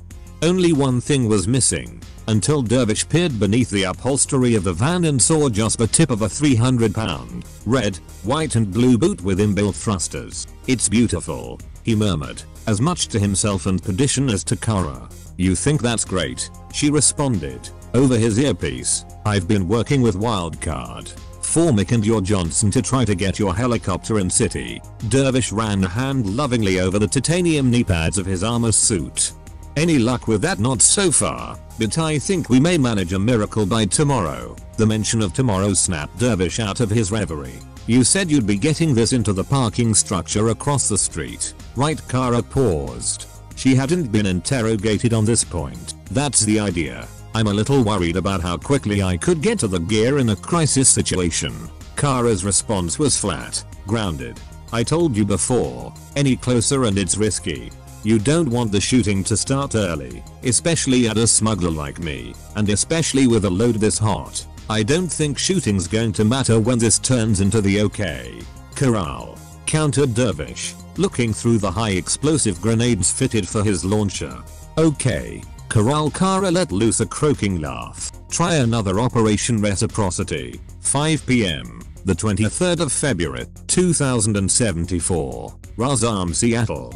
Downtown Seattle. UCAS Security Director Malcolm McWilliams furiously masturbated himself beneath his office desk as he gaped, open-mouthed, at the most recent projected profits graph on his new drone. The PR guys had just come through with a redesign that added a bunch of sleek futuristic bits to the chassis that really made the whole thing pop with that Raz pizzazz. And diving into the drone from afar while the maintenance guys affixed the new additions had him in such a tizzy that he let his meat body's urges get the better of him. Twody very frequently let his meat body's urges get the better of him. He was dimly aware of his manager's presence somewhere in the periphery of his matrix-filled vision, but it wasn't until Mr.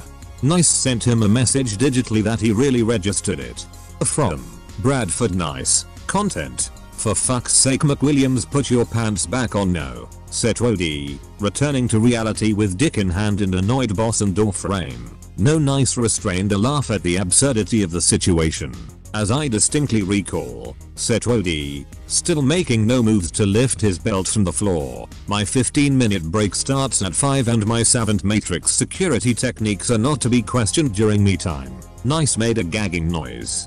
If you didn't get such great results I'd have you shot. You know I once jacked off while simultaneously controlling like 15 of those rail mounted turret guns on level B3 I perforated the stroll runner in a ballistic suit. Best fap of my life. Are you quite done? There was a short pause and then the clinking of Twody's belt buckle as he finally donned his slacks.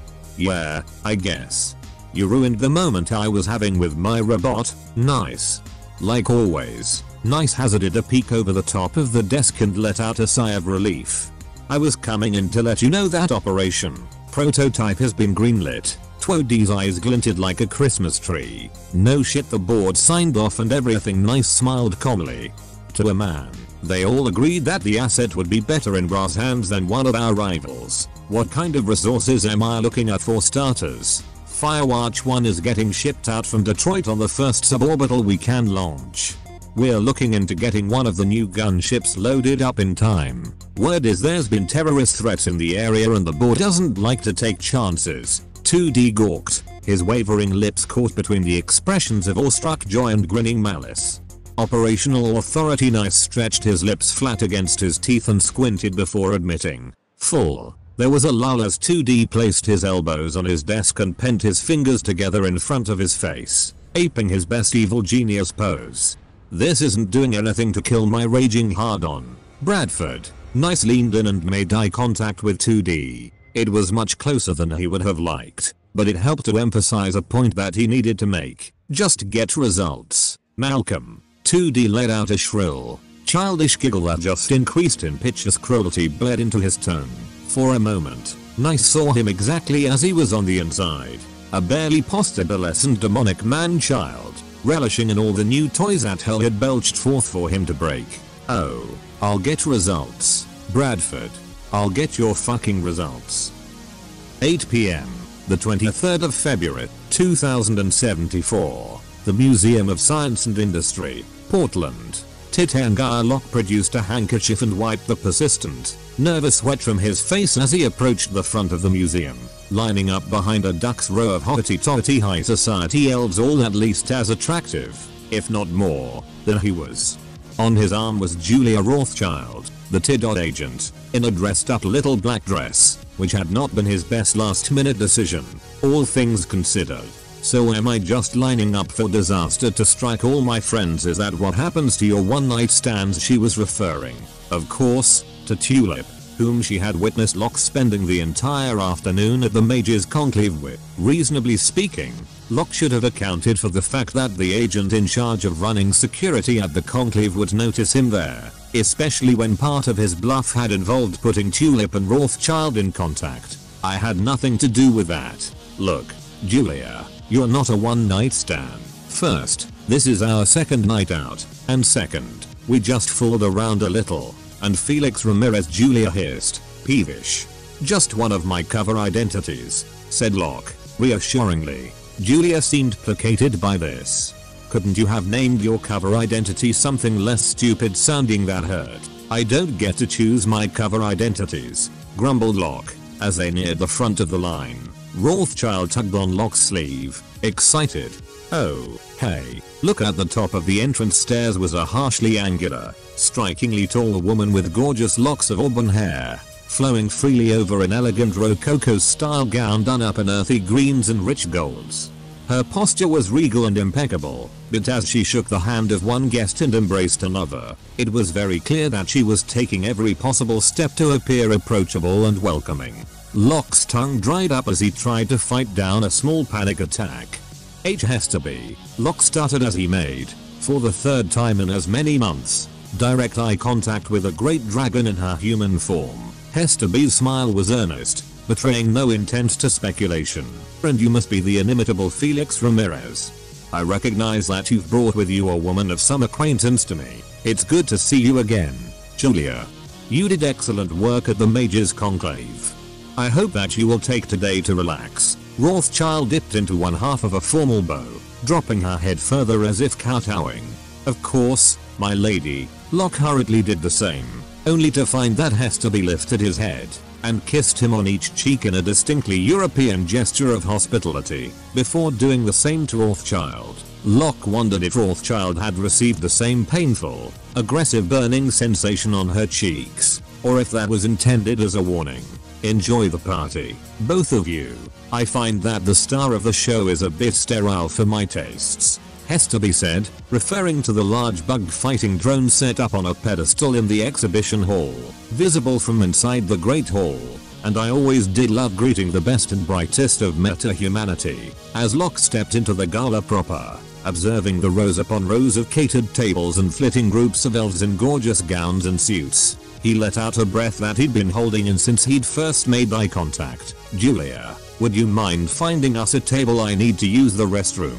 Rothschild smiled in return. Sure, Vincent. Locke immediately began searching for Larry Coburn, although he spotted Peter McKinley first, in an animated conversation with some of the event's heavily armed security guards. He passed an elegant sign on the way that read security armaments on loan from Ares Microtechnology, Peter McKinley himself I can't believe I'm meeting you the second floor meanwhile, in the closed off exhibits, Ben circled the museum with a ruthenium polymer coated sack of spy toys and cameras, placing the latter in cubbies and corners like a deranged ninja Santa Claus. As he scaled a tasteful modernist pillar to get a camera in the corner where it met the ceiling, wildcard sounded over the encrypted channel on the team's tactical network. Ben, I know it's a bit late to change plans, but could you start doubling up on your coverage? Ben stuck the camera in its hiding space, adjusted it to set the adhesive at the right angle, and responded. What? Like just aim for the major angles of transit yeah, said Wildcard, forwarding him a vid feed of a pair of party guests, from the perspective of the camera in the west hallway. The woman was in a stunning skirt coat combo, with the man in a cutting edge Zoe suit. However, As both of them turned directly to regard the camera's viewpoint, their faces shifted and blurred. They had both adopted completely neutral, and more worryingly, human, countenances as the woman plucked the camera from its hiding space and crushed it. Dawkins, gasped Ben, they've been following your path and breaking cameras.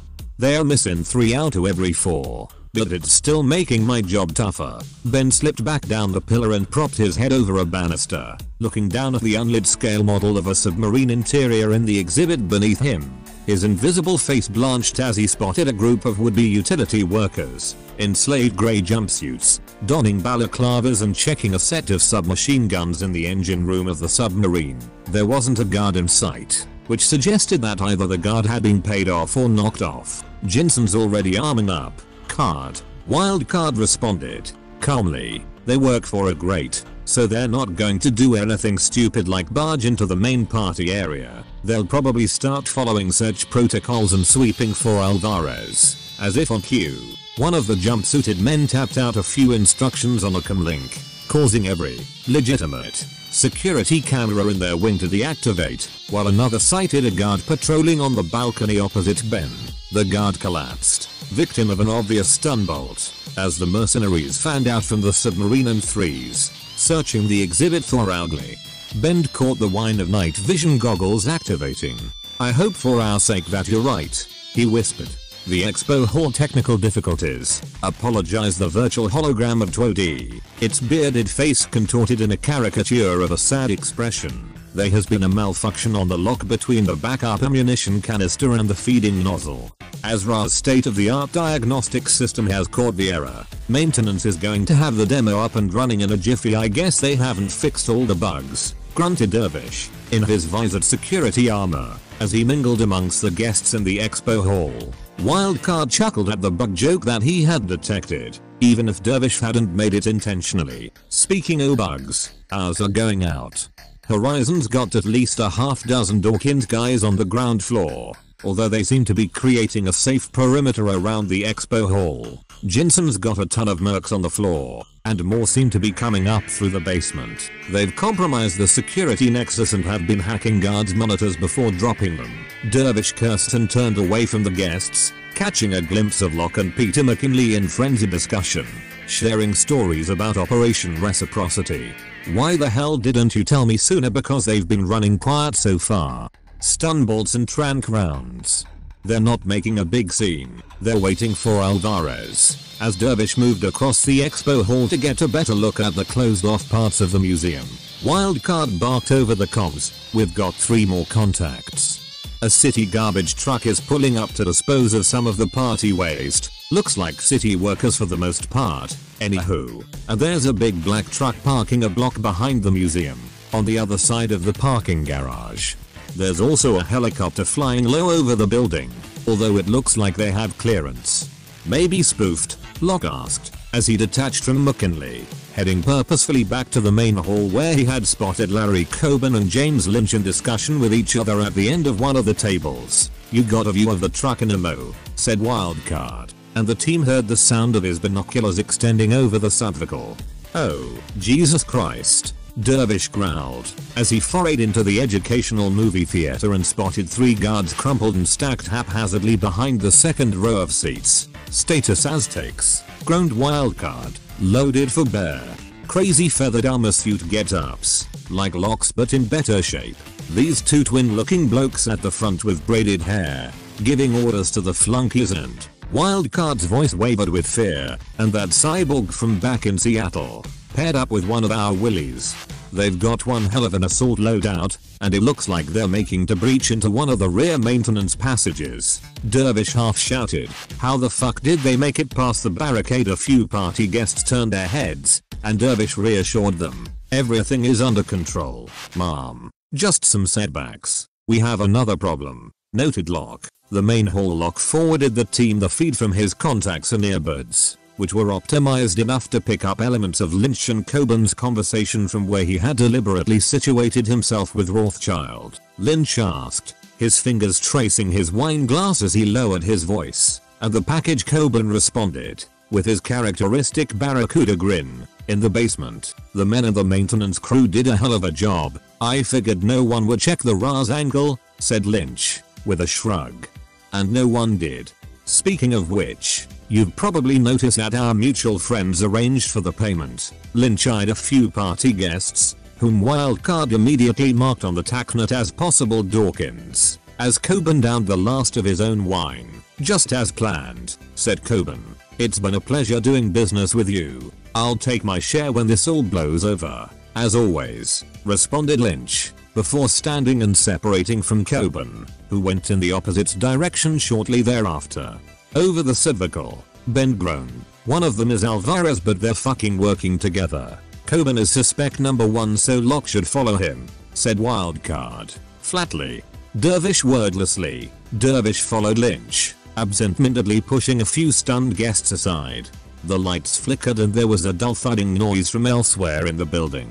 As the guests murmured and looked around, Wildcard shouted, as Tech just breached what the hell did they mean by the package Wildcard highlighted the Ares drone maintenance team, whom had just finished detaching one of the ammo tanks from the drone in the expo hall, replaced it, and were now taking the spent tank hastily to the maintenance elevator. Wildcard marked them, beneath their disguises, as Barlow, Ice Queen, and Meld, one of Alvarez's runner teams. Either the payment or the artifact is in the Ares ammo canisters, shouted Wildcard, his composure breaking over the comms. Ben, get after them Ben slipped into the vents, making his way to the top of the elevator hidey hole. Aztechnology making for the main elevator, updated Wildcard, in a frenzy. Jensen moving back downstairs. The helicopter is landing on the roof. It's the German running team. Guests are disappearing, said Locke, as he followed Coburn into the main hall restroom. Dawkins, said Wildcard, breathlessly, as Locke walked up behind Coburn at the urinal. Go loud. Locke stun bolted Coburn in the back of the head before grabbing him by the hair and smashing his face down into the top of the urinal, sending spider webs of shock up the porcelain. Coburn crumpled to the floor with cracked teeth, although, disappointingly, his face did not change as he fell unconscious.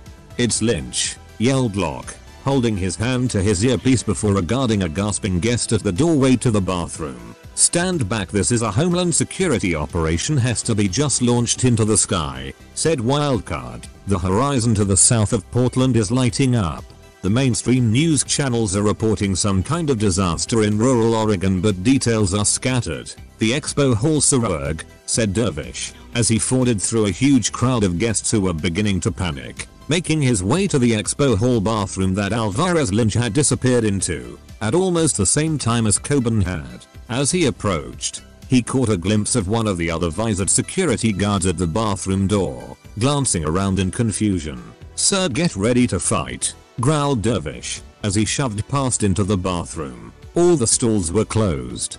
One by one, he kicked them open with his raptor legs, exposing, first, two startled elven men, and one elven woman, who seemed to have been in the middle of something with one of the men, and then, at the end of the row, the naked corpse of one of the security guards, propped up atop the toilet with James Lynch's clothing strewn about him. Back in the expo hall, the security guard that Dervish had regarded prior was marked on Wildcard's cameras as he vaulted effortlessly up the pedestal that Ares drone was on, unscrewed the recently installed ammo canister, and then began a headlong sprint across the expo hall for the maintenance exit that lead to the stalling garbage truck. The garbage men poured into the expo hall through the same exit producing concealed submachine guns as their faces blurred. One of the Dawkins operatives yelled, as a few of the guests ferried out with their own concealed weapons to join their ranks. Nobody move the main hall what the hell is happening? Asked Rothschild, her hand over a holdout pistol strapped to her thigh, as Locke came sprinting back to their table. Julia Locke began, a pair of double doors separating the main hall from the closed-off fossils exhibit fell into multiple pieces as the cyber zombies' blades tore through it, revealing the Aztec tac team to the screaming guests.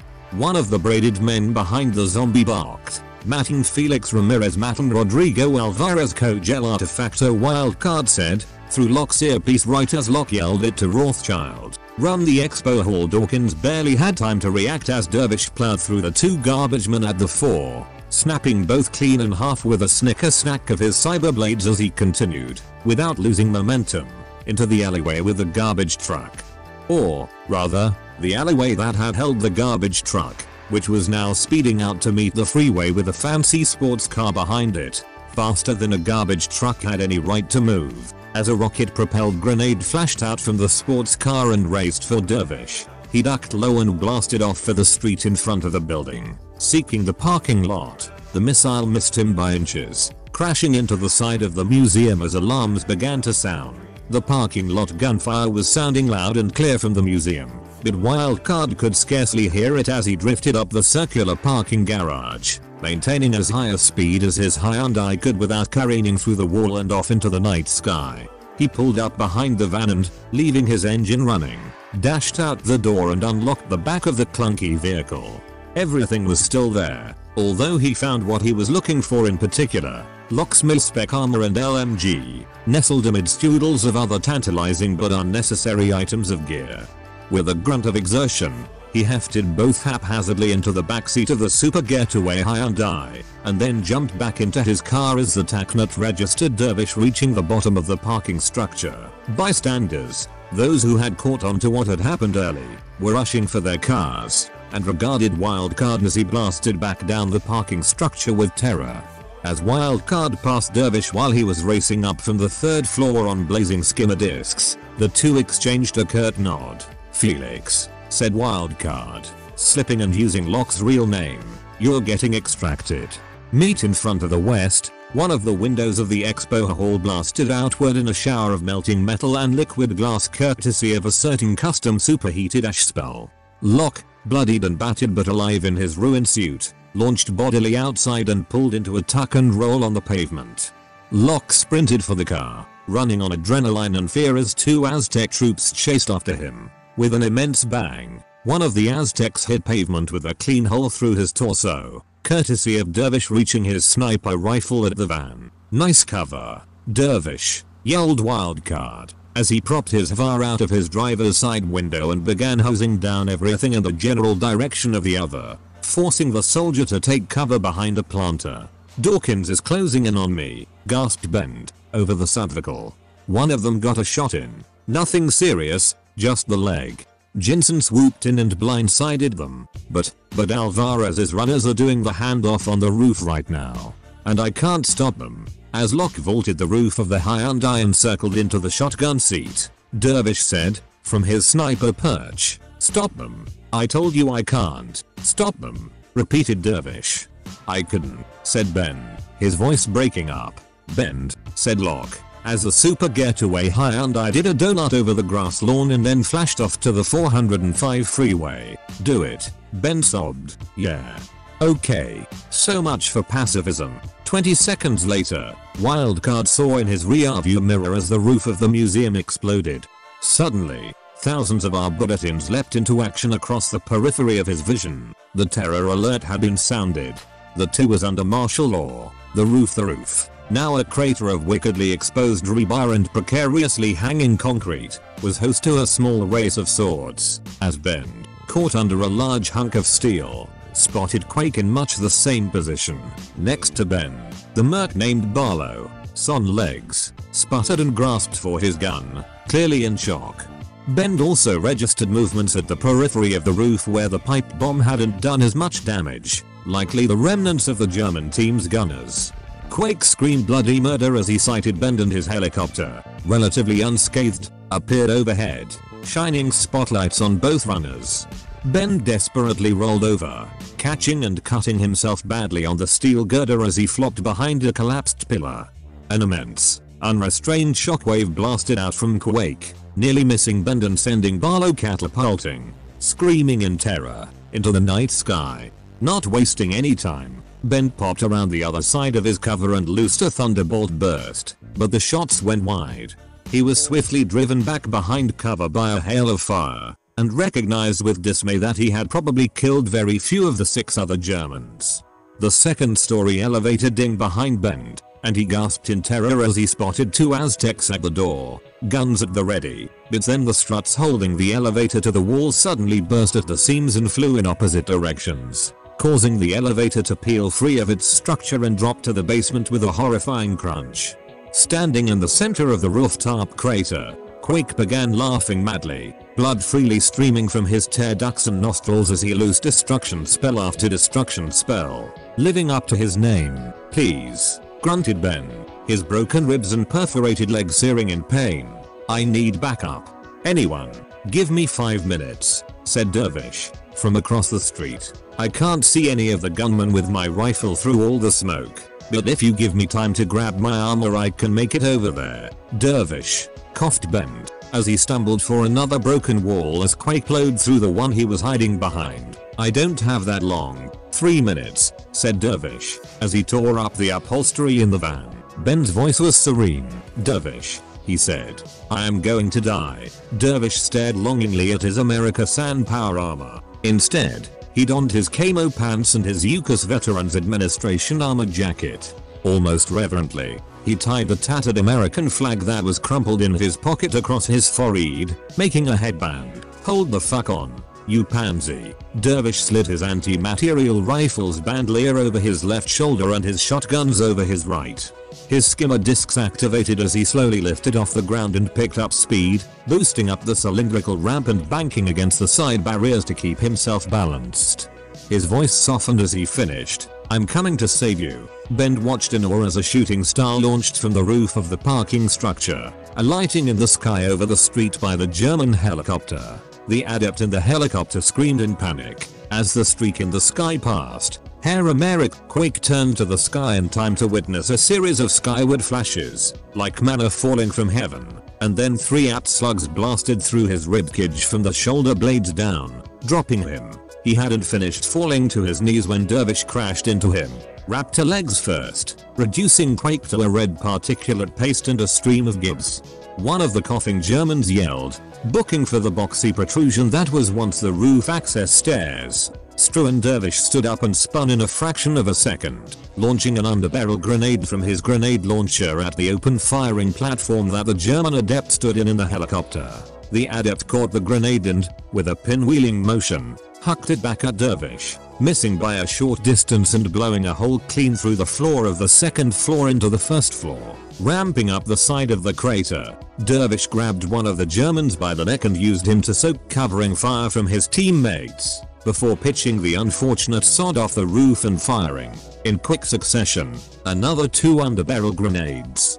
As the adept flung the first into the night sky, the second sailed past him, leaving him unable to react when the grenade bursted, blowing out the side doors of the helicopter and shredding the adept. The helicopter pulled into a tailspin, its minigun spinning to life. As the helicopter alit and loaded a short burst of fire into Dervish's last known position, a small white dragon wearing what appeared to be full military spec barding flashed out of the air from the direction of downtown, alit on the nose of the chopper, and breathed a cone of high pressure fire directly through the windshield. The chopper died in the air before violently smashing into the middle of the street below as the Drake bailed off into the air again. Gentlemen, said Gunter Lehman, over the team's comms, my partner, 8.49pm, the 23rd of February, 2074, the 405 freeway, Portland, Tir Tairngire stay inside and evacuate downtown Portland if at all possible. Do not call emergency lines at this time unless you have a medical crisis. Response teams are forthcoming and all citizens are advised to cooperate to the fullest possible. Wildcard switched off the radio. Tonatiuh the sun god, or at least an aspect of him, sat behind Locke and Wildcard as the two runners practically flew along the freeway, magic and maintenance causing their supercar to hold together even when approaching speeds better reserved for aircraft, as Locke donned his gear from the shotgun seat, making sure that all relevant locks, buckles, and seals were arranged correctly. Wildcard's Nexus ran scans on passing vehicles as they blew by. Most grid-linked vehicles have been locked down, explained Wildcard, as Locke arranged his spirit binding materials along the dashboard and began quietly chanting in Aztlaner Spanish. Wildcard jerked to avoid a police barricade in the midst of being set up, sending the cops scattering from their cars.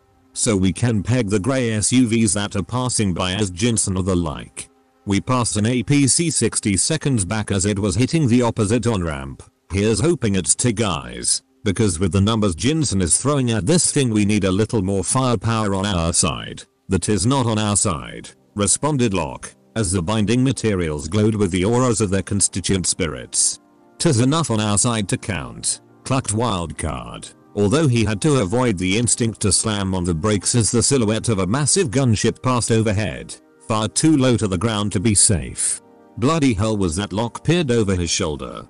Looked like grass. Couldn't have been, said Wildcard, as he adjusted his steering wheel and picked up speed again. Ares isn't involved, maybe they are now, said Locke, tightening the seal on his helmet.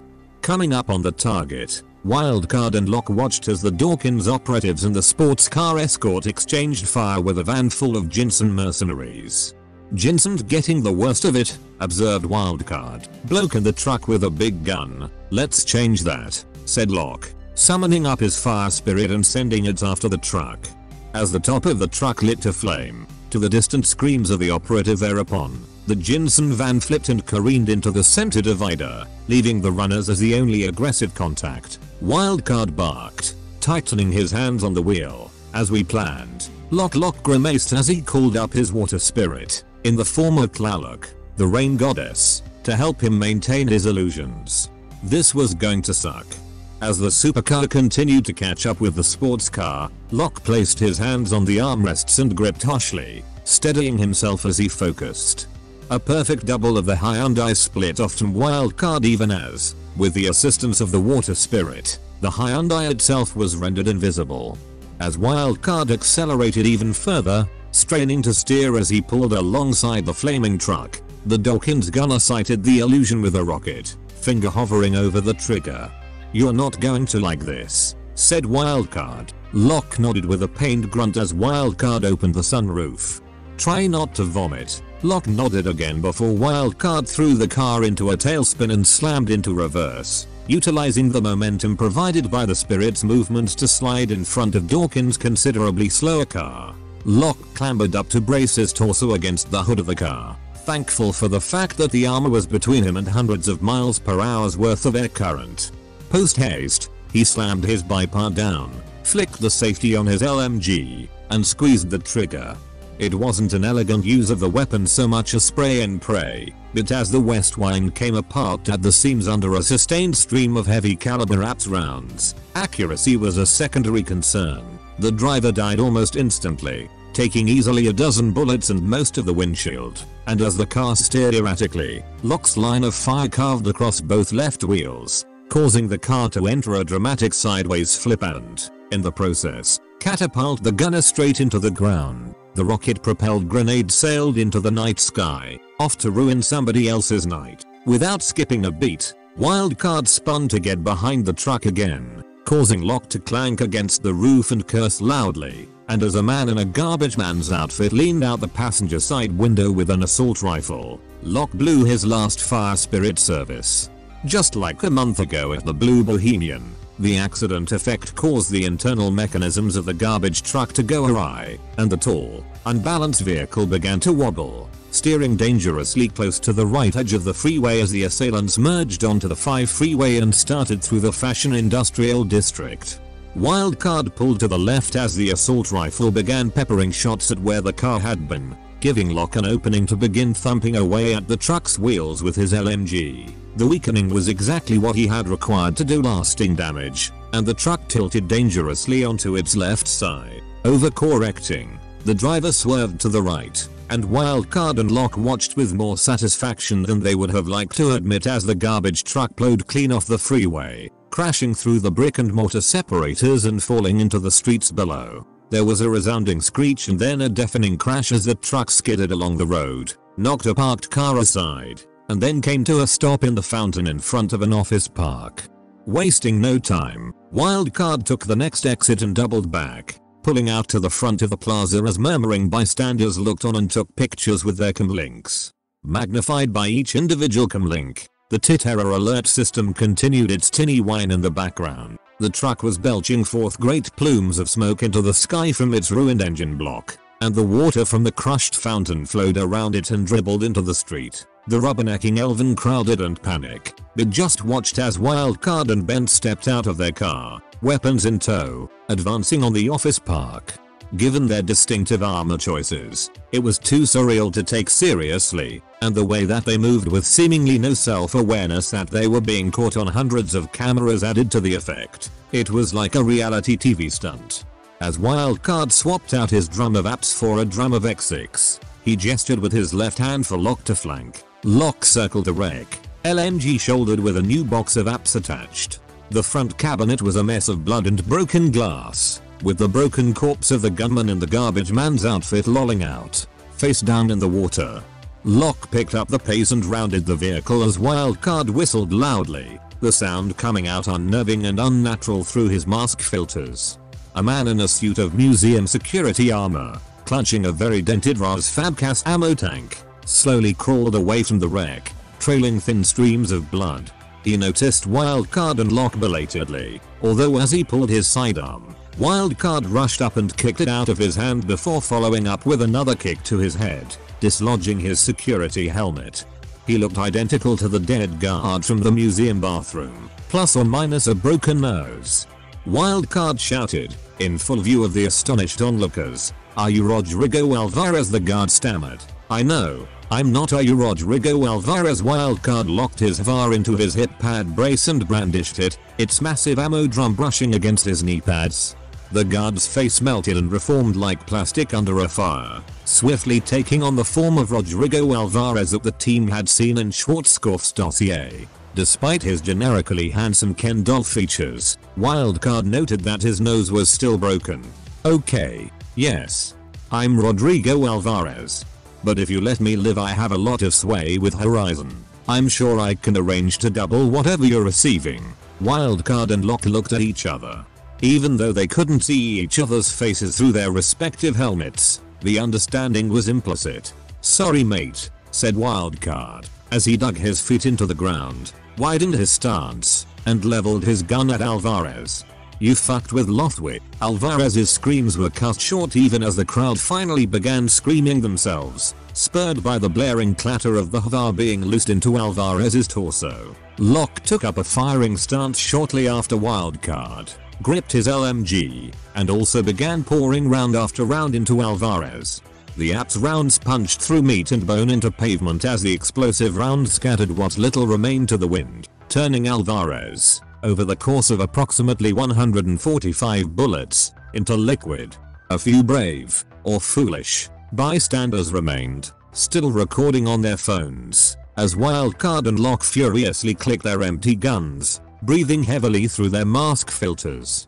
Sirens closed in as both men slowly stood. Let's get the fuck out of here, Locke groaned. Spent. First things first, said Wildcard, as he hefted the ammo canister.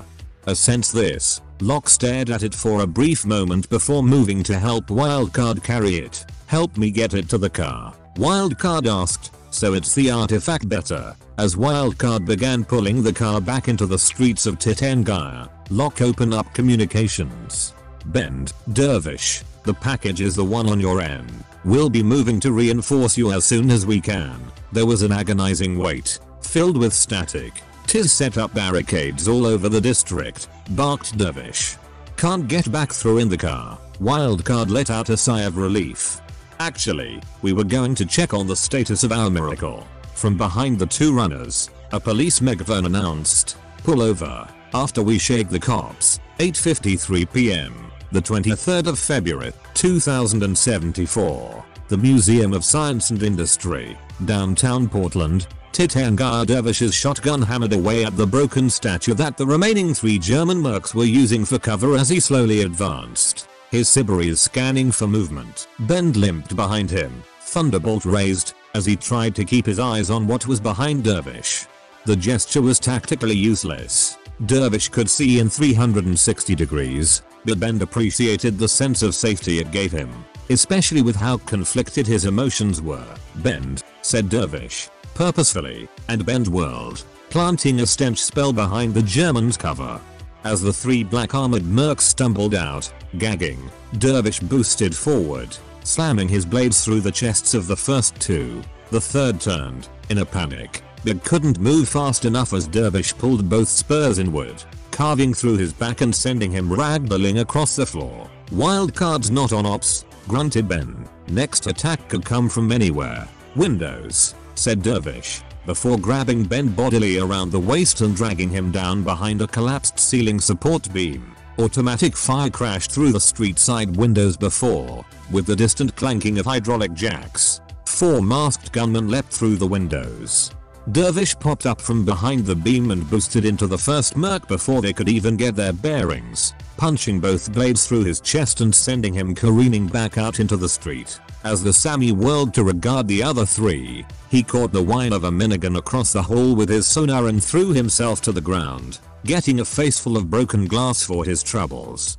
The three remaining mercs had a few moments to fire an erratic stream of bullets, some at Dervish and some at the newcomer, before all three were carved apart by the automatic cannon, which also punched through the second story wall they were situated against, causing another section of the ceiling to collapse and join the crater. Give me Felix Ramirez, announced the cyborg, its human-like facade filled with pockmarks and bullet holes, as it advanced into the room from the main hall stairs. Godbent threw himself off the second story balcony and into a hang over the expo hall, adhering to the lower wall as bullets raced overhead. Damn it the main body of the Aztechnology Force, Benz noted, was engaged in a fighting retreat upstairs, being pushed out of the main and expo halls by a renewed force of Jinsen reinforcements. If Horizon was still here, he wasn't seeing them, Scampering on all fours to behind the dead German's cover, Dervish grabbed the ammo canister that held the artifact to his chest. He boosted with his skimmers to under a collapsed section of roof, hoping the break line of sight, when the canister was yanked from his grasp mid-slide. It hovered into the air, slowly levitating across the roof and flying towards the parking structure. Fucking Horizoner across the street, yelled Dervish.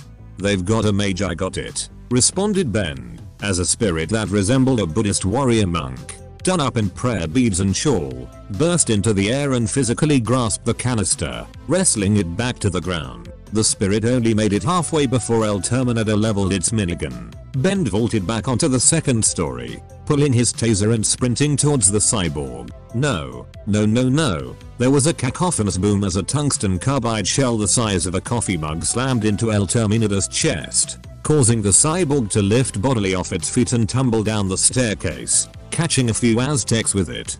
A few Jinsen mercs vaulted up from the expo hall to the second story, guns brandished, as Ben leapt, grabbed the canister, and was spirited back under the collapsed roof section by Dervish. What now? moaned Ben, as a garish red, white and blue gunship settled into a jump jet hover in a slow circle around the museum. As a bone-faced icon appeared in our space in front of the gunship's cockpit, a familiar voice broadcast on the local R. Attention terrorist chucklefucks, yelled Twody, we are here to extract the prized prototype that you have recklessly endangered with your flailing shenanigan. Ares Technology and its subsidiaries officially disavow any agenda separate from the extraction of said prototype. Oh, god, whimpered Ben. Ares enjoys a position as an official contractor to the T military. Anyone who does not cooperate will be shot until dead. You will receive no warnings. One of the Jinsen mercs launched a shoulder-mounted missile at the gunship, which yawed obscenely, deployed chaff, and then returned fire with its main cannon, blasting the offending merc in two. I see that we're doing this the hard way, then. Fine by me Jinsen and Aztec alike dashed for cover as the gunship began indiscriminately firing on everything it could see, continuing to ruin what little remained of the roof as Dervish and Ben leapt down through the grenade hole onto the first floor. Above in the sky, Wildcard's helicopter decelerated in close proximity to the Ares gunship, ushered to speed by a great form guidance spirit that Schwarzkopf had left bound to the helicopter with one service. Bomb-headed icons appeared on every monitor as Twody breezed into the helicopter's systems. Hei, it's the guy from the Christmas party, laughed Twody. What's up Wildcard noticed that, despite the jovial tone, the gunship had achieved a missile lock in a matter of microseconds. Just trying to save Dervish, is all, said Wildcard, curtly. Funny, because you just stepped into Ares jurisdiction. Given a stipulating clause in the loan contract to the Museum of Science and Industry, giggled Twody. So how about you sit this one out no can do, said Wildcard, as he glanced back at Locke, nervous. Twody audibly pondered this, making mmmmmm thinking noises. Tell you what, replacement, said Twody, as the gunship settled onto the roof and deployed a vanguard of four men in Firewatch Milspec and two modified to Hell Steel Lynxes. I'll race ya.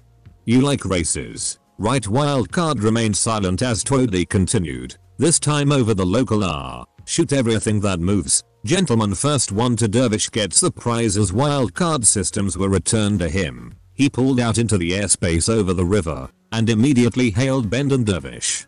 Ditch the package. You two rases after you downstairs in the main hall. Dervish regarded the panicking kangaroo at his heels as he dropped the headless body of a Jinsen Merc. That's the problem. We already did. Well, where the fuck is it? Then a flying Aztec shaman in full eagle warrior regalia blasted out of the roof, arcing over the Ares gunship. Sorry, grunted Dervish. Put it down to kill these guys. Locke, yelled Wildcard. Locke called up a flaming serpent and sent it coiling after the mage, only to watch it get stun-bolted out of the sky by the combined force of the Aztec mage and the Horizon mage on the adjacent rooftop. With an angry growl, Wildcard loosed a missile at the Horizon team, causing the Dawkins operatives to scatter and flee further down into the parking structure as the parked cars erupted. Bleeding from the nose, Locke cracked the door of the helicopter and tried to sight the mage for a spell manually, but was suddenly knocked directly up into the ceiling of the helicopter, struck by something that carried through the roof and mercifully missed the rotors. Locke flopped back into the helicopter with a massive hole through his lower ribcage, sputtering and retching blood. Locke is down, yelled Wildcard. What the fuck was that another projectile blasted through the air at immense speed, barely missing the helicopter. Wildcard identified the silhouette of the Willy, which was carrying a huge magnetic railgun in its cold titanium hands. Not wasting a moment, Wildcard spun in the air and launched a barrage of missiles at it, reducing it to parts in a crater in the street even as it fired off one last shot, blasting a hole clean from nose to tail of the helicopter and causing the machinery within to screech in agony. Half of the monitors went unresponsive in an instant. I don't think I can stay aloft much longer, said Wildcard, increasing altitude to distance himself from the fight.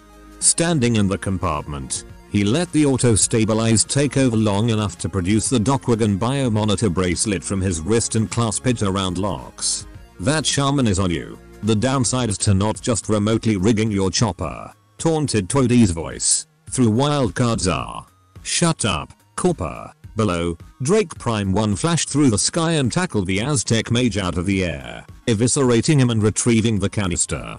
It cut low towards the roof until the Horizon mage, now running across the street with his team, blasted it with a power bolt, causing it to drop the canister in the museum wreckage by the submarine exhibit as it struggled to stay aloft.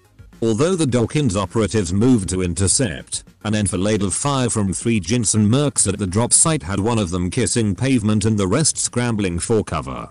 As Dervish Jack jumped back upstairs to get a better vantage point and Ben, back in elf form, tack cloak to circle around the battlefield and retrieve the canister, Firewatch hit the main hall stairs.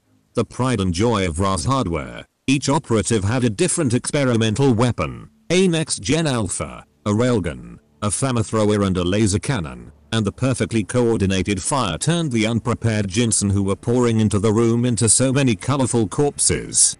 As a remaining Aztechnology squad rounded the entrance from the expo hall, sighting Firewatch, the dwarf with the laser swept across them and sliced them all at the legs, dropping them into a screaming pile. The troll with the flamethrower ran up and hosed down the writhing, screaming bodies, dropping the boot of his matching power armor on anything that kept moving. The human at the front, with the alpha, announced through his helmet vox, AZT has left the building with a whore of the four operatives settled in a breaching position at the expo hall.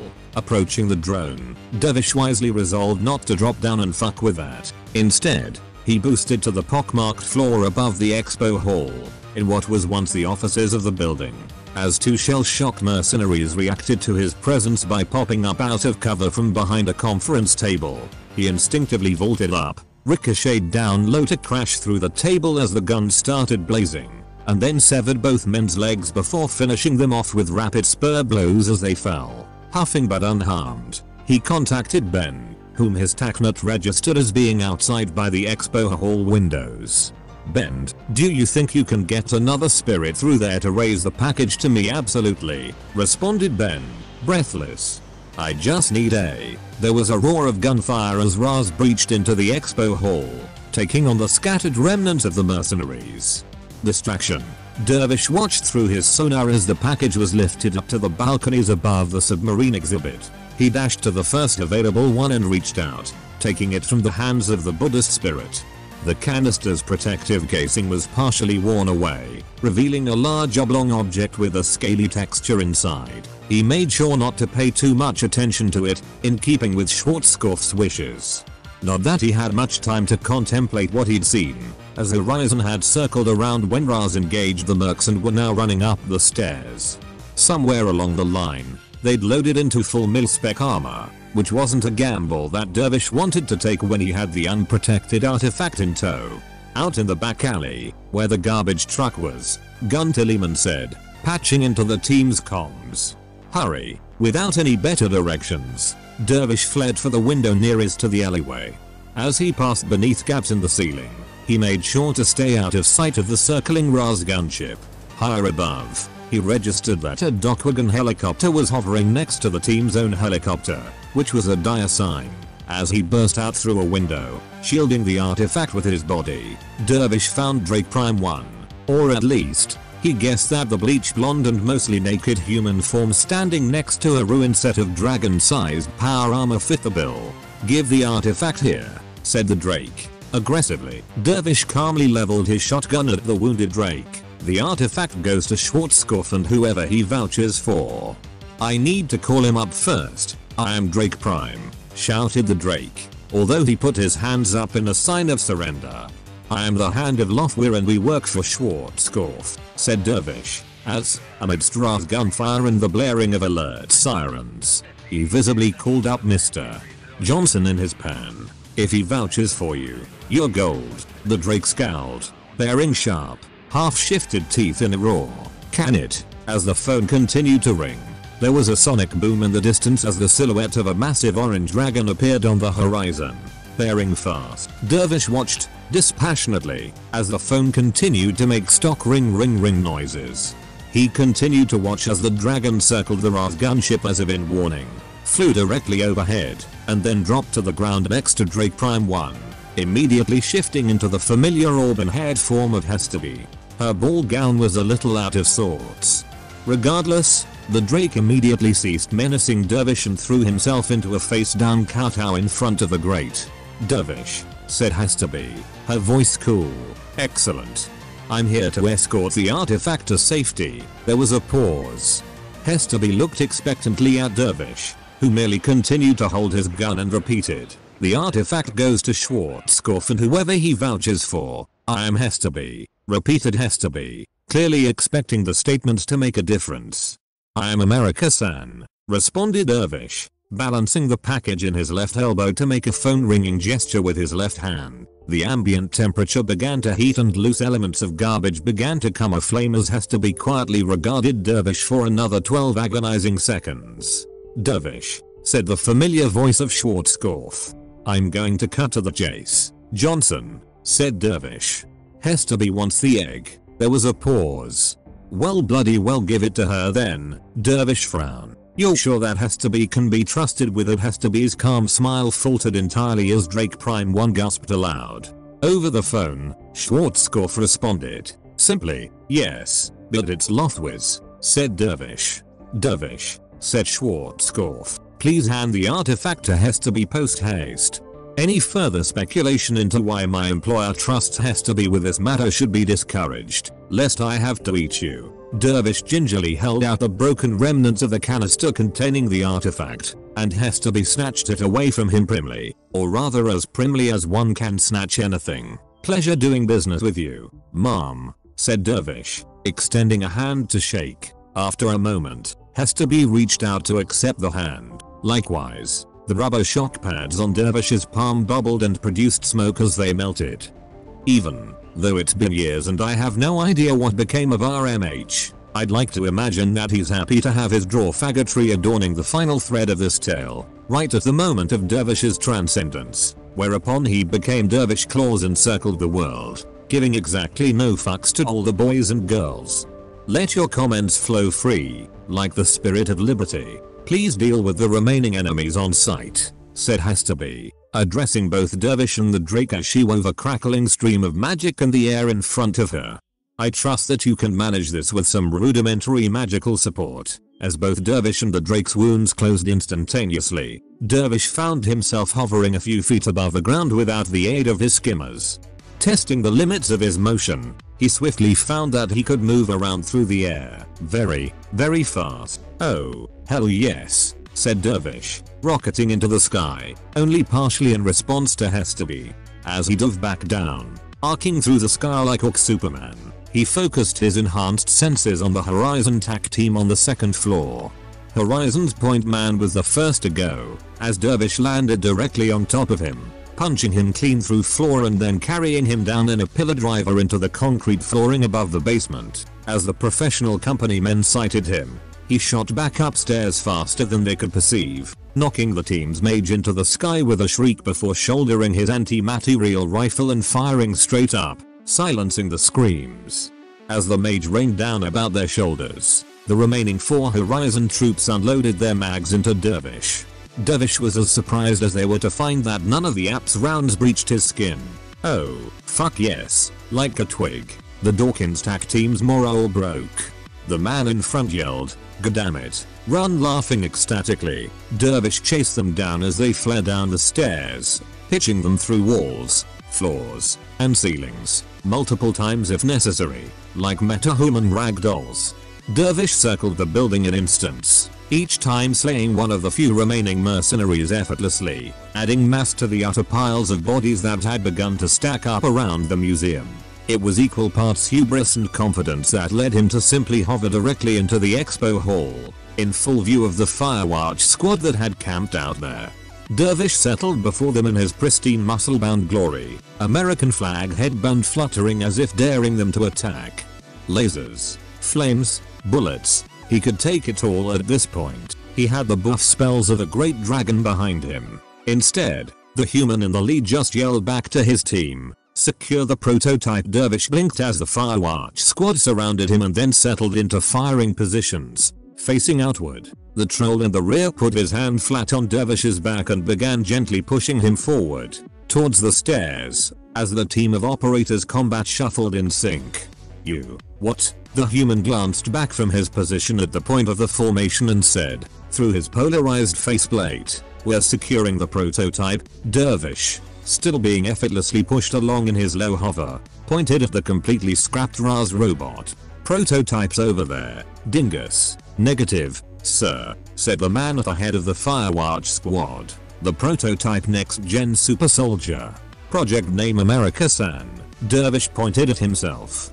I'm the prototype the fourth team member with the railgun. A human woman under her power armor by the looks of her, laughed through her own vocoder. With all due respect, sir, you didn't think we were really putting this much effort into retrieving a bug spraying robot as Wildcard settled his helicopter down near to the carnage directly next to the DocWagon chopper that was currently keeping Locke alive, if in critical condition. Twody's voice sounded over his comms. I win the race, as Ben limped out of the building, hobbling over to the helicopter. A tank flanked on either side by APCs trundled into the courtyard, offloading Timorines who began hurrying into the building. A few of the elven soldiers eyed the runners warily, but a yell from their commander at the rear of the formation had them jogging back into position. Where's Dervish Wildcard, whose mask was off for the first time in over 36 hours, pointed at the Ares gunship, which had settled into the cratered remains of the roof. He found some new mates and is getting acquainted. We'll get along without him, here's hoping for a quiet ride back to Seattle, joked Ben, although there wasn't much mirth behind the joke. Wildcard just nodded in agreement, his plasticine face barely expressing. There was a beat before Ben spoke again. How's he doing Wildcard grimaced. Likely he'll live. They've got him on life support, although our team Aztec is going to be needing some new organs before all this is over. Ben looked glumly at the DocWagon transport. Are we fielding the costs actually? said Wildcard, with a half smile. We're just deducting it from his share. Ben scowled. Don't ever let Yazzie know that I'm defending him on this one. But that messed up. For all we know he's going to need to keep up treatment for years. And that's going to really eat away at the money he made off this whole thing. Wildcard placed his armored gauntlet on Ben's shoulder.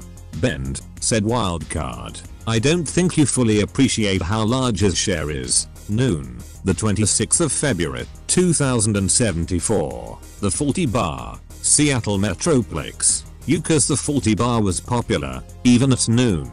Heap had gathered a clutch of would-be runners, teenagers and street thugs, mostly, around the bar, and was telling them a lurid tale of the olden days of katanas and trench coats pink mohawks and non-wireless matrices. A scrawny moppet who was almost certainly too young to drink nursed her beer, seemingly more terrified at the prospect of a dial-up internet connection than she was of insect spirits or shedim.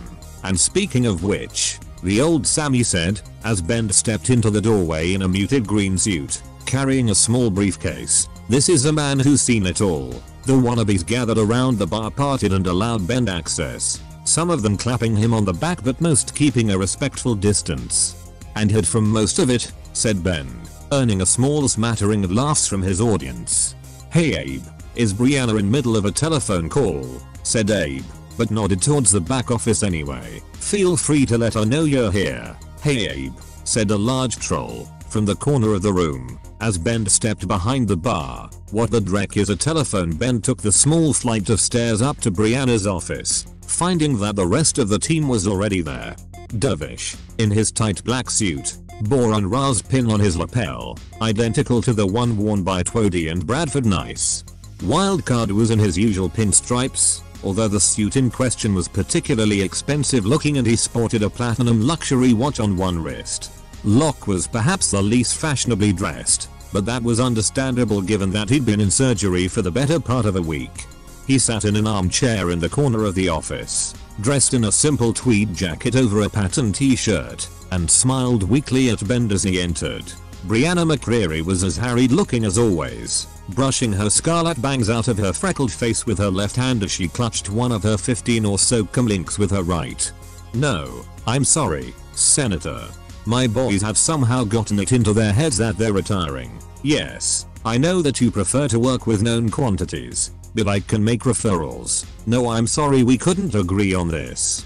Goodbye. Brianna made a frustrated huffing noise as she flopped down into her office chair, initiating a little spin that caused her to regard each of the team members in turn. You boys have put me in one hell of a bind. Sorry, Brianna, said Locke. We're not ungrateful, but that last job was something of a wake up call. Brianna looked at Locke conspiratorially. You know the whole thing is totally classified I can't even ask anybody. All the channels are hush hush. The media seems to think that Sirrurg was to blame for those industrial parks that got lit up in the south of Oregon. But nobody's taking responsibility for whatever the hell happened to the Museum of Science and Industry. Ben Crin. Speaking of which, continued Brianna, as she turned on a trade recording behind her desk. Maybe one of you can explain to me what the hell this is. The image was of Dervish and Bradford Nice in a press room, wearing matching suits and speaking into microphones. Given exemplary service in Portland, we are proud to adopt Garrett Jordan, known to many out there as Dervish or America San, formerly into the Ares family. Although Mr. Jordan was not aware of it at the time, lied nice, through his shameless movie star teeth, he was actually a testbed for a number of now confirmed experimental Ares products. Naturally, his utter dominance of the Shadowrun world should be considered a statement as to the quality of the tech. There was an uproar from the reporters. Mr. Jordan, said one of the reporters, what do you say to allegations by the Aztechnology rep that your origins actually lie with proprietary tech developed by their company Dervish spoke into the mic, clearly coached. While it's true that there has been some cross-pollination between Ares and Aztechnology think tanks in the past, the frank fact of the matter is that those accusations are baseless. My past is purely mercenary, aside from my underlying loyalties to Ares. All of my interactions with Aztechnology were strictly on a contracting basis. Yes, agreed nice. Fundamentally one can't account for every influence in a wide-standing, far-reaching project like this. As always, the men and women of Aztechnology Cyber Labs are an inspiration. But we here at Ares prize hard American work and ingenuity. Garrett can look forward to a star record of service in Knight Errant Firewatch, fighting enemies to peace around the globe. And also, said Dervish, leaning into the mic, my own reality TV show, coming in the next fiscal quarter. It's about me fighting crime and terrorists. Nice spat up a little bit of his glass of water, although he swiftly recovered composure. Yes. That. That was a thing we certainly had planned for all you fans out there. I'm going to have a sidekick. He's a knight errant officer who acts as the letter of the law good cop to my renegade. I picked him personally, nice mouthed what and moved to take Dervish's mic from him as Brianna stopped the clip. Everything in that video is true, said Dervish, deadpan, as he stood in the corner of the room. So that's it Brianna stood up, her expression hurt. No notice all of you just going your separate ways everyone nodded and grunted their agreement. If it helps, said Ben, we put together a little gift to let you know how much all this time together meant to us. Brianna looked like she was trying to hold back tears as Ben lifted the small briefcase, placed it on her desk, and opened it. Inside was a small, grapefruit-sized gift box, done up with ribbons and a bow. The wrapping paper depicted little Nuyen symbols. What the hell is this? Brianna picked up the box, shook it around to a metal clinking noise, and pulled the ribbon off as the team watched expectantly.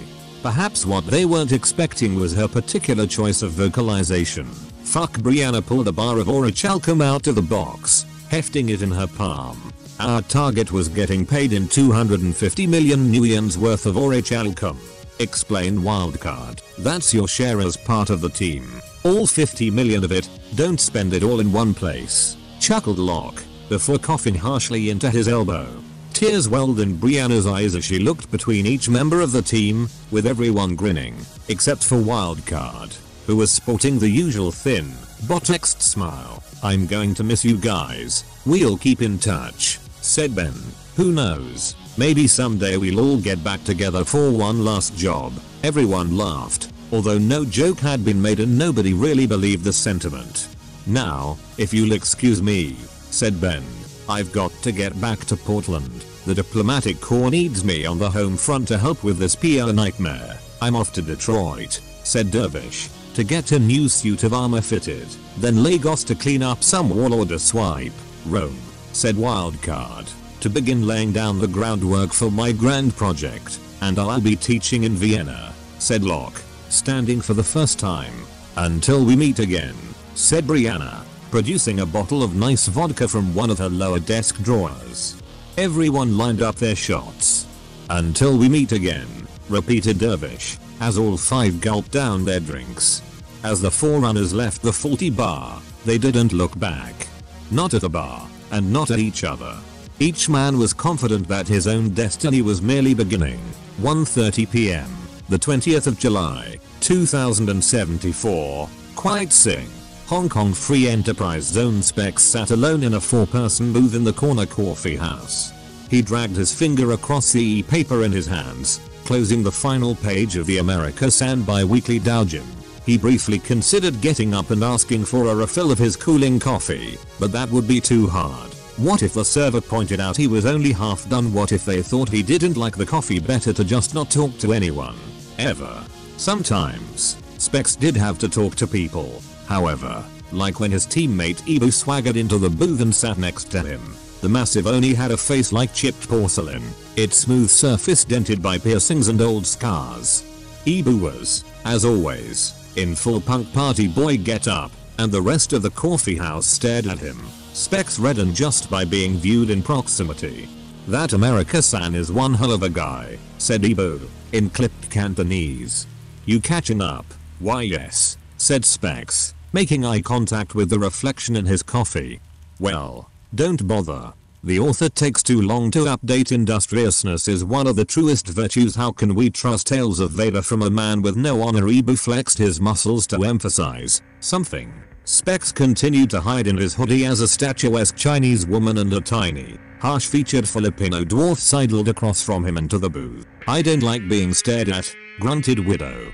Then, said Jade, calmly, you probably shouldn't be running with Ibu and I. She turned to face Specs. Are you done with your coffee? Yeah, said Specs, standing. I'm done. Shadowrun story time and originally I was going to do the epilogue as all separate posts, but holy fuck is it late so here's the cliffs notes so I can go to bed. I may go back and rewrite all of these another day. Darius St. George and Jet Black's indie record label struck it big, competing with Horizon's in-house music studio directly Emily Granger married Bend after two years of dating. She remained a frequent Metaplanet tourist and pursued charity work. Julia Green continued her rise to become the premier cyberdoc in the Seattle area. Becoming frequently referred to as the one-woman crime wave Joseph Green became Dervish's sidekick by mass public appeal. Taking on the identity of Little Texas, Dervish's handler and partner who can't deal with Dervish's over-the-top shenanigan. He didn't have to do much acting. Jordan Formick became deputy head of the TIG Ghosts, but never accepted the position of head because that would mean he couldn't go on operations anymore since a guest starred on Dervish's TV show for three seasons, reconciled with his wife Mariella, and then upon learning that he had come down with a terminal heart condition requested to be airdropped into the jungles of the Amazonian front with nothing but a combat knife to see how long he could survive Vulcan was eaten by his own security drop bears. His abandoned bunker is presumably filled with Telesma, but is something of an urban legend to local runners, as all of its contents are guarded by roving drop bears and obscene arrays of automated weaponry Aidan Remendal of the SIN. Manager was fired for gross incompetence and ended up homeless Dr. Lawsalot finished his residency, changed his entire identity, and refused to serve Halloweeners for the rest of his entire natural lifespan. Hippocratic oath be damned the Sasquatches continued to hang out on their nature preserve, play video games, and generally be awesome I can't believe Trout kept up with the team's adventures. I wonder how Specs is gonna ruin this milk run. John the Ghoul eventually became head of Terminus, which didn't stop him from still showing up to all of Twody's kids' birthday parties. Trigger became a systems management RE, eventually becoming the custodian to the RA Seattle node when Twody moved on Ariana the tiny adorable child goblinized into a massive troll upon puberty, but was fitted with the best headwear that daddy could buy. She eventually went to law school and became a meta-human rights attorney. Josie had two more natural children by 2D, both orcs and technomancers. Against all odds, she raised them mostly right. Mostly. Joe Trout Sekigahara escaped from a secret Saeder-Krupp project dedicated to reverse engineering adept powers, whereupon he was picked up by Horizon for a secret project dedicated to brainwashing adepts. After the project was deemed a resounding failure, he was unceremoniously dumped on the streets of Seattle, where he perpetrated a crime spree of petty larceny and senseless violence for 6 hours before Lone Star recaptured him. Damien Geppetto Sanitary eventually lead a vicious coup of the Merlins, seizing the Catholic Mafia's pet whiz gang for his own purposes. He used his position of authority to catch the ears of major mob figures, driving them to ever greater acts of cruelty and depravity and causing mob-related crime to become a serious epidemic in the years to come. His more audacious acts lead to extreme public notoriety, making him something of a supervillain.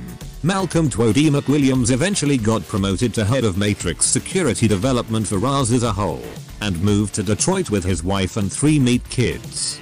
He maintained his cronying friendship with Bradford Nice, then a member of the board of directors. Felix Locke Ramirez was given sanctuary by the corporate court and extradited to Vienna, where he worked in magical R&D developing combat spells.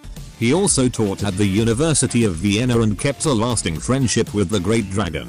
Schwartzkopf Dylan Wildcard Cadbury founded Eurozone fixer network called Condottieri 15 referring to the Italian name for a mercenary soldier in the minimum sentence in the United Kingdom for bank robbery. C-15 maintained its own ranks and hierarchy as independent of the existent Eurozone running culture, predominantly focused around financial monitoring and large-scale heists and thefts. His lieutenants, Belfast and Luca, maintained his cover identity as an Italian foreign minister, the better to approach their eventual goal, robbing God. Peter Bend Colby married his girlfriend Emily and joined the TID diplomatic corps as external advisory and troubleshooting. In the years to come, any runner doing business with the TID princes would come to know him by a different title. Johnson. Jonathan Motherfucking Dervish Red Eagle Garrett America Sam Jordan was eventually reunited with his real parents, a lower middle class couple living in Denver. The identity that he had come to represent, however, was very different from that which they associated with their son, and so although he came to involve them more in his life, he always felt distant. He maintained a public identity as Ra's chief above board company man, first into the fray in every conflict Ares fought in his natural lifespan. Alongside him were his trusty camera crew and his sidekick, Little Texas, whom earned Dervish's admiration for real when he killed noted arms dealer and international criminal Taka with a motorcycle. When he eventually began aging, as a distinct counterpoint to his elf teammates, or Wildcard and 2D, who leonized, he chose to grow old in honor of Sensei, eventually taking on his own students. And that's all she wrote, ladies and gents. If it means the same to you, I'm going to fall the fuck asleep. So I've recently moved Neckbeardia merch over to Teesprings and have a few new designs. Listings are below the video and in the description. Just stop. Just stop it. Stop. No. Just stop it. It's time to stop. It's time to stop, okay? No more. Where the fuck are your parents? Who are your parents? I'm gonna call Child Protective Services. It's time to stop.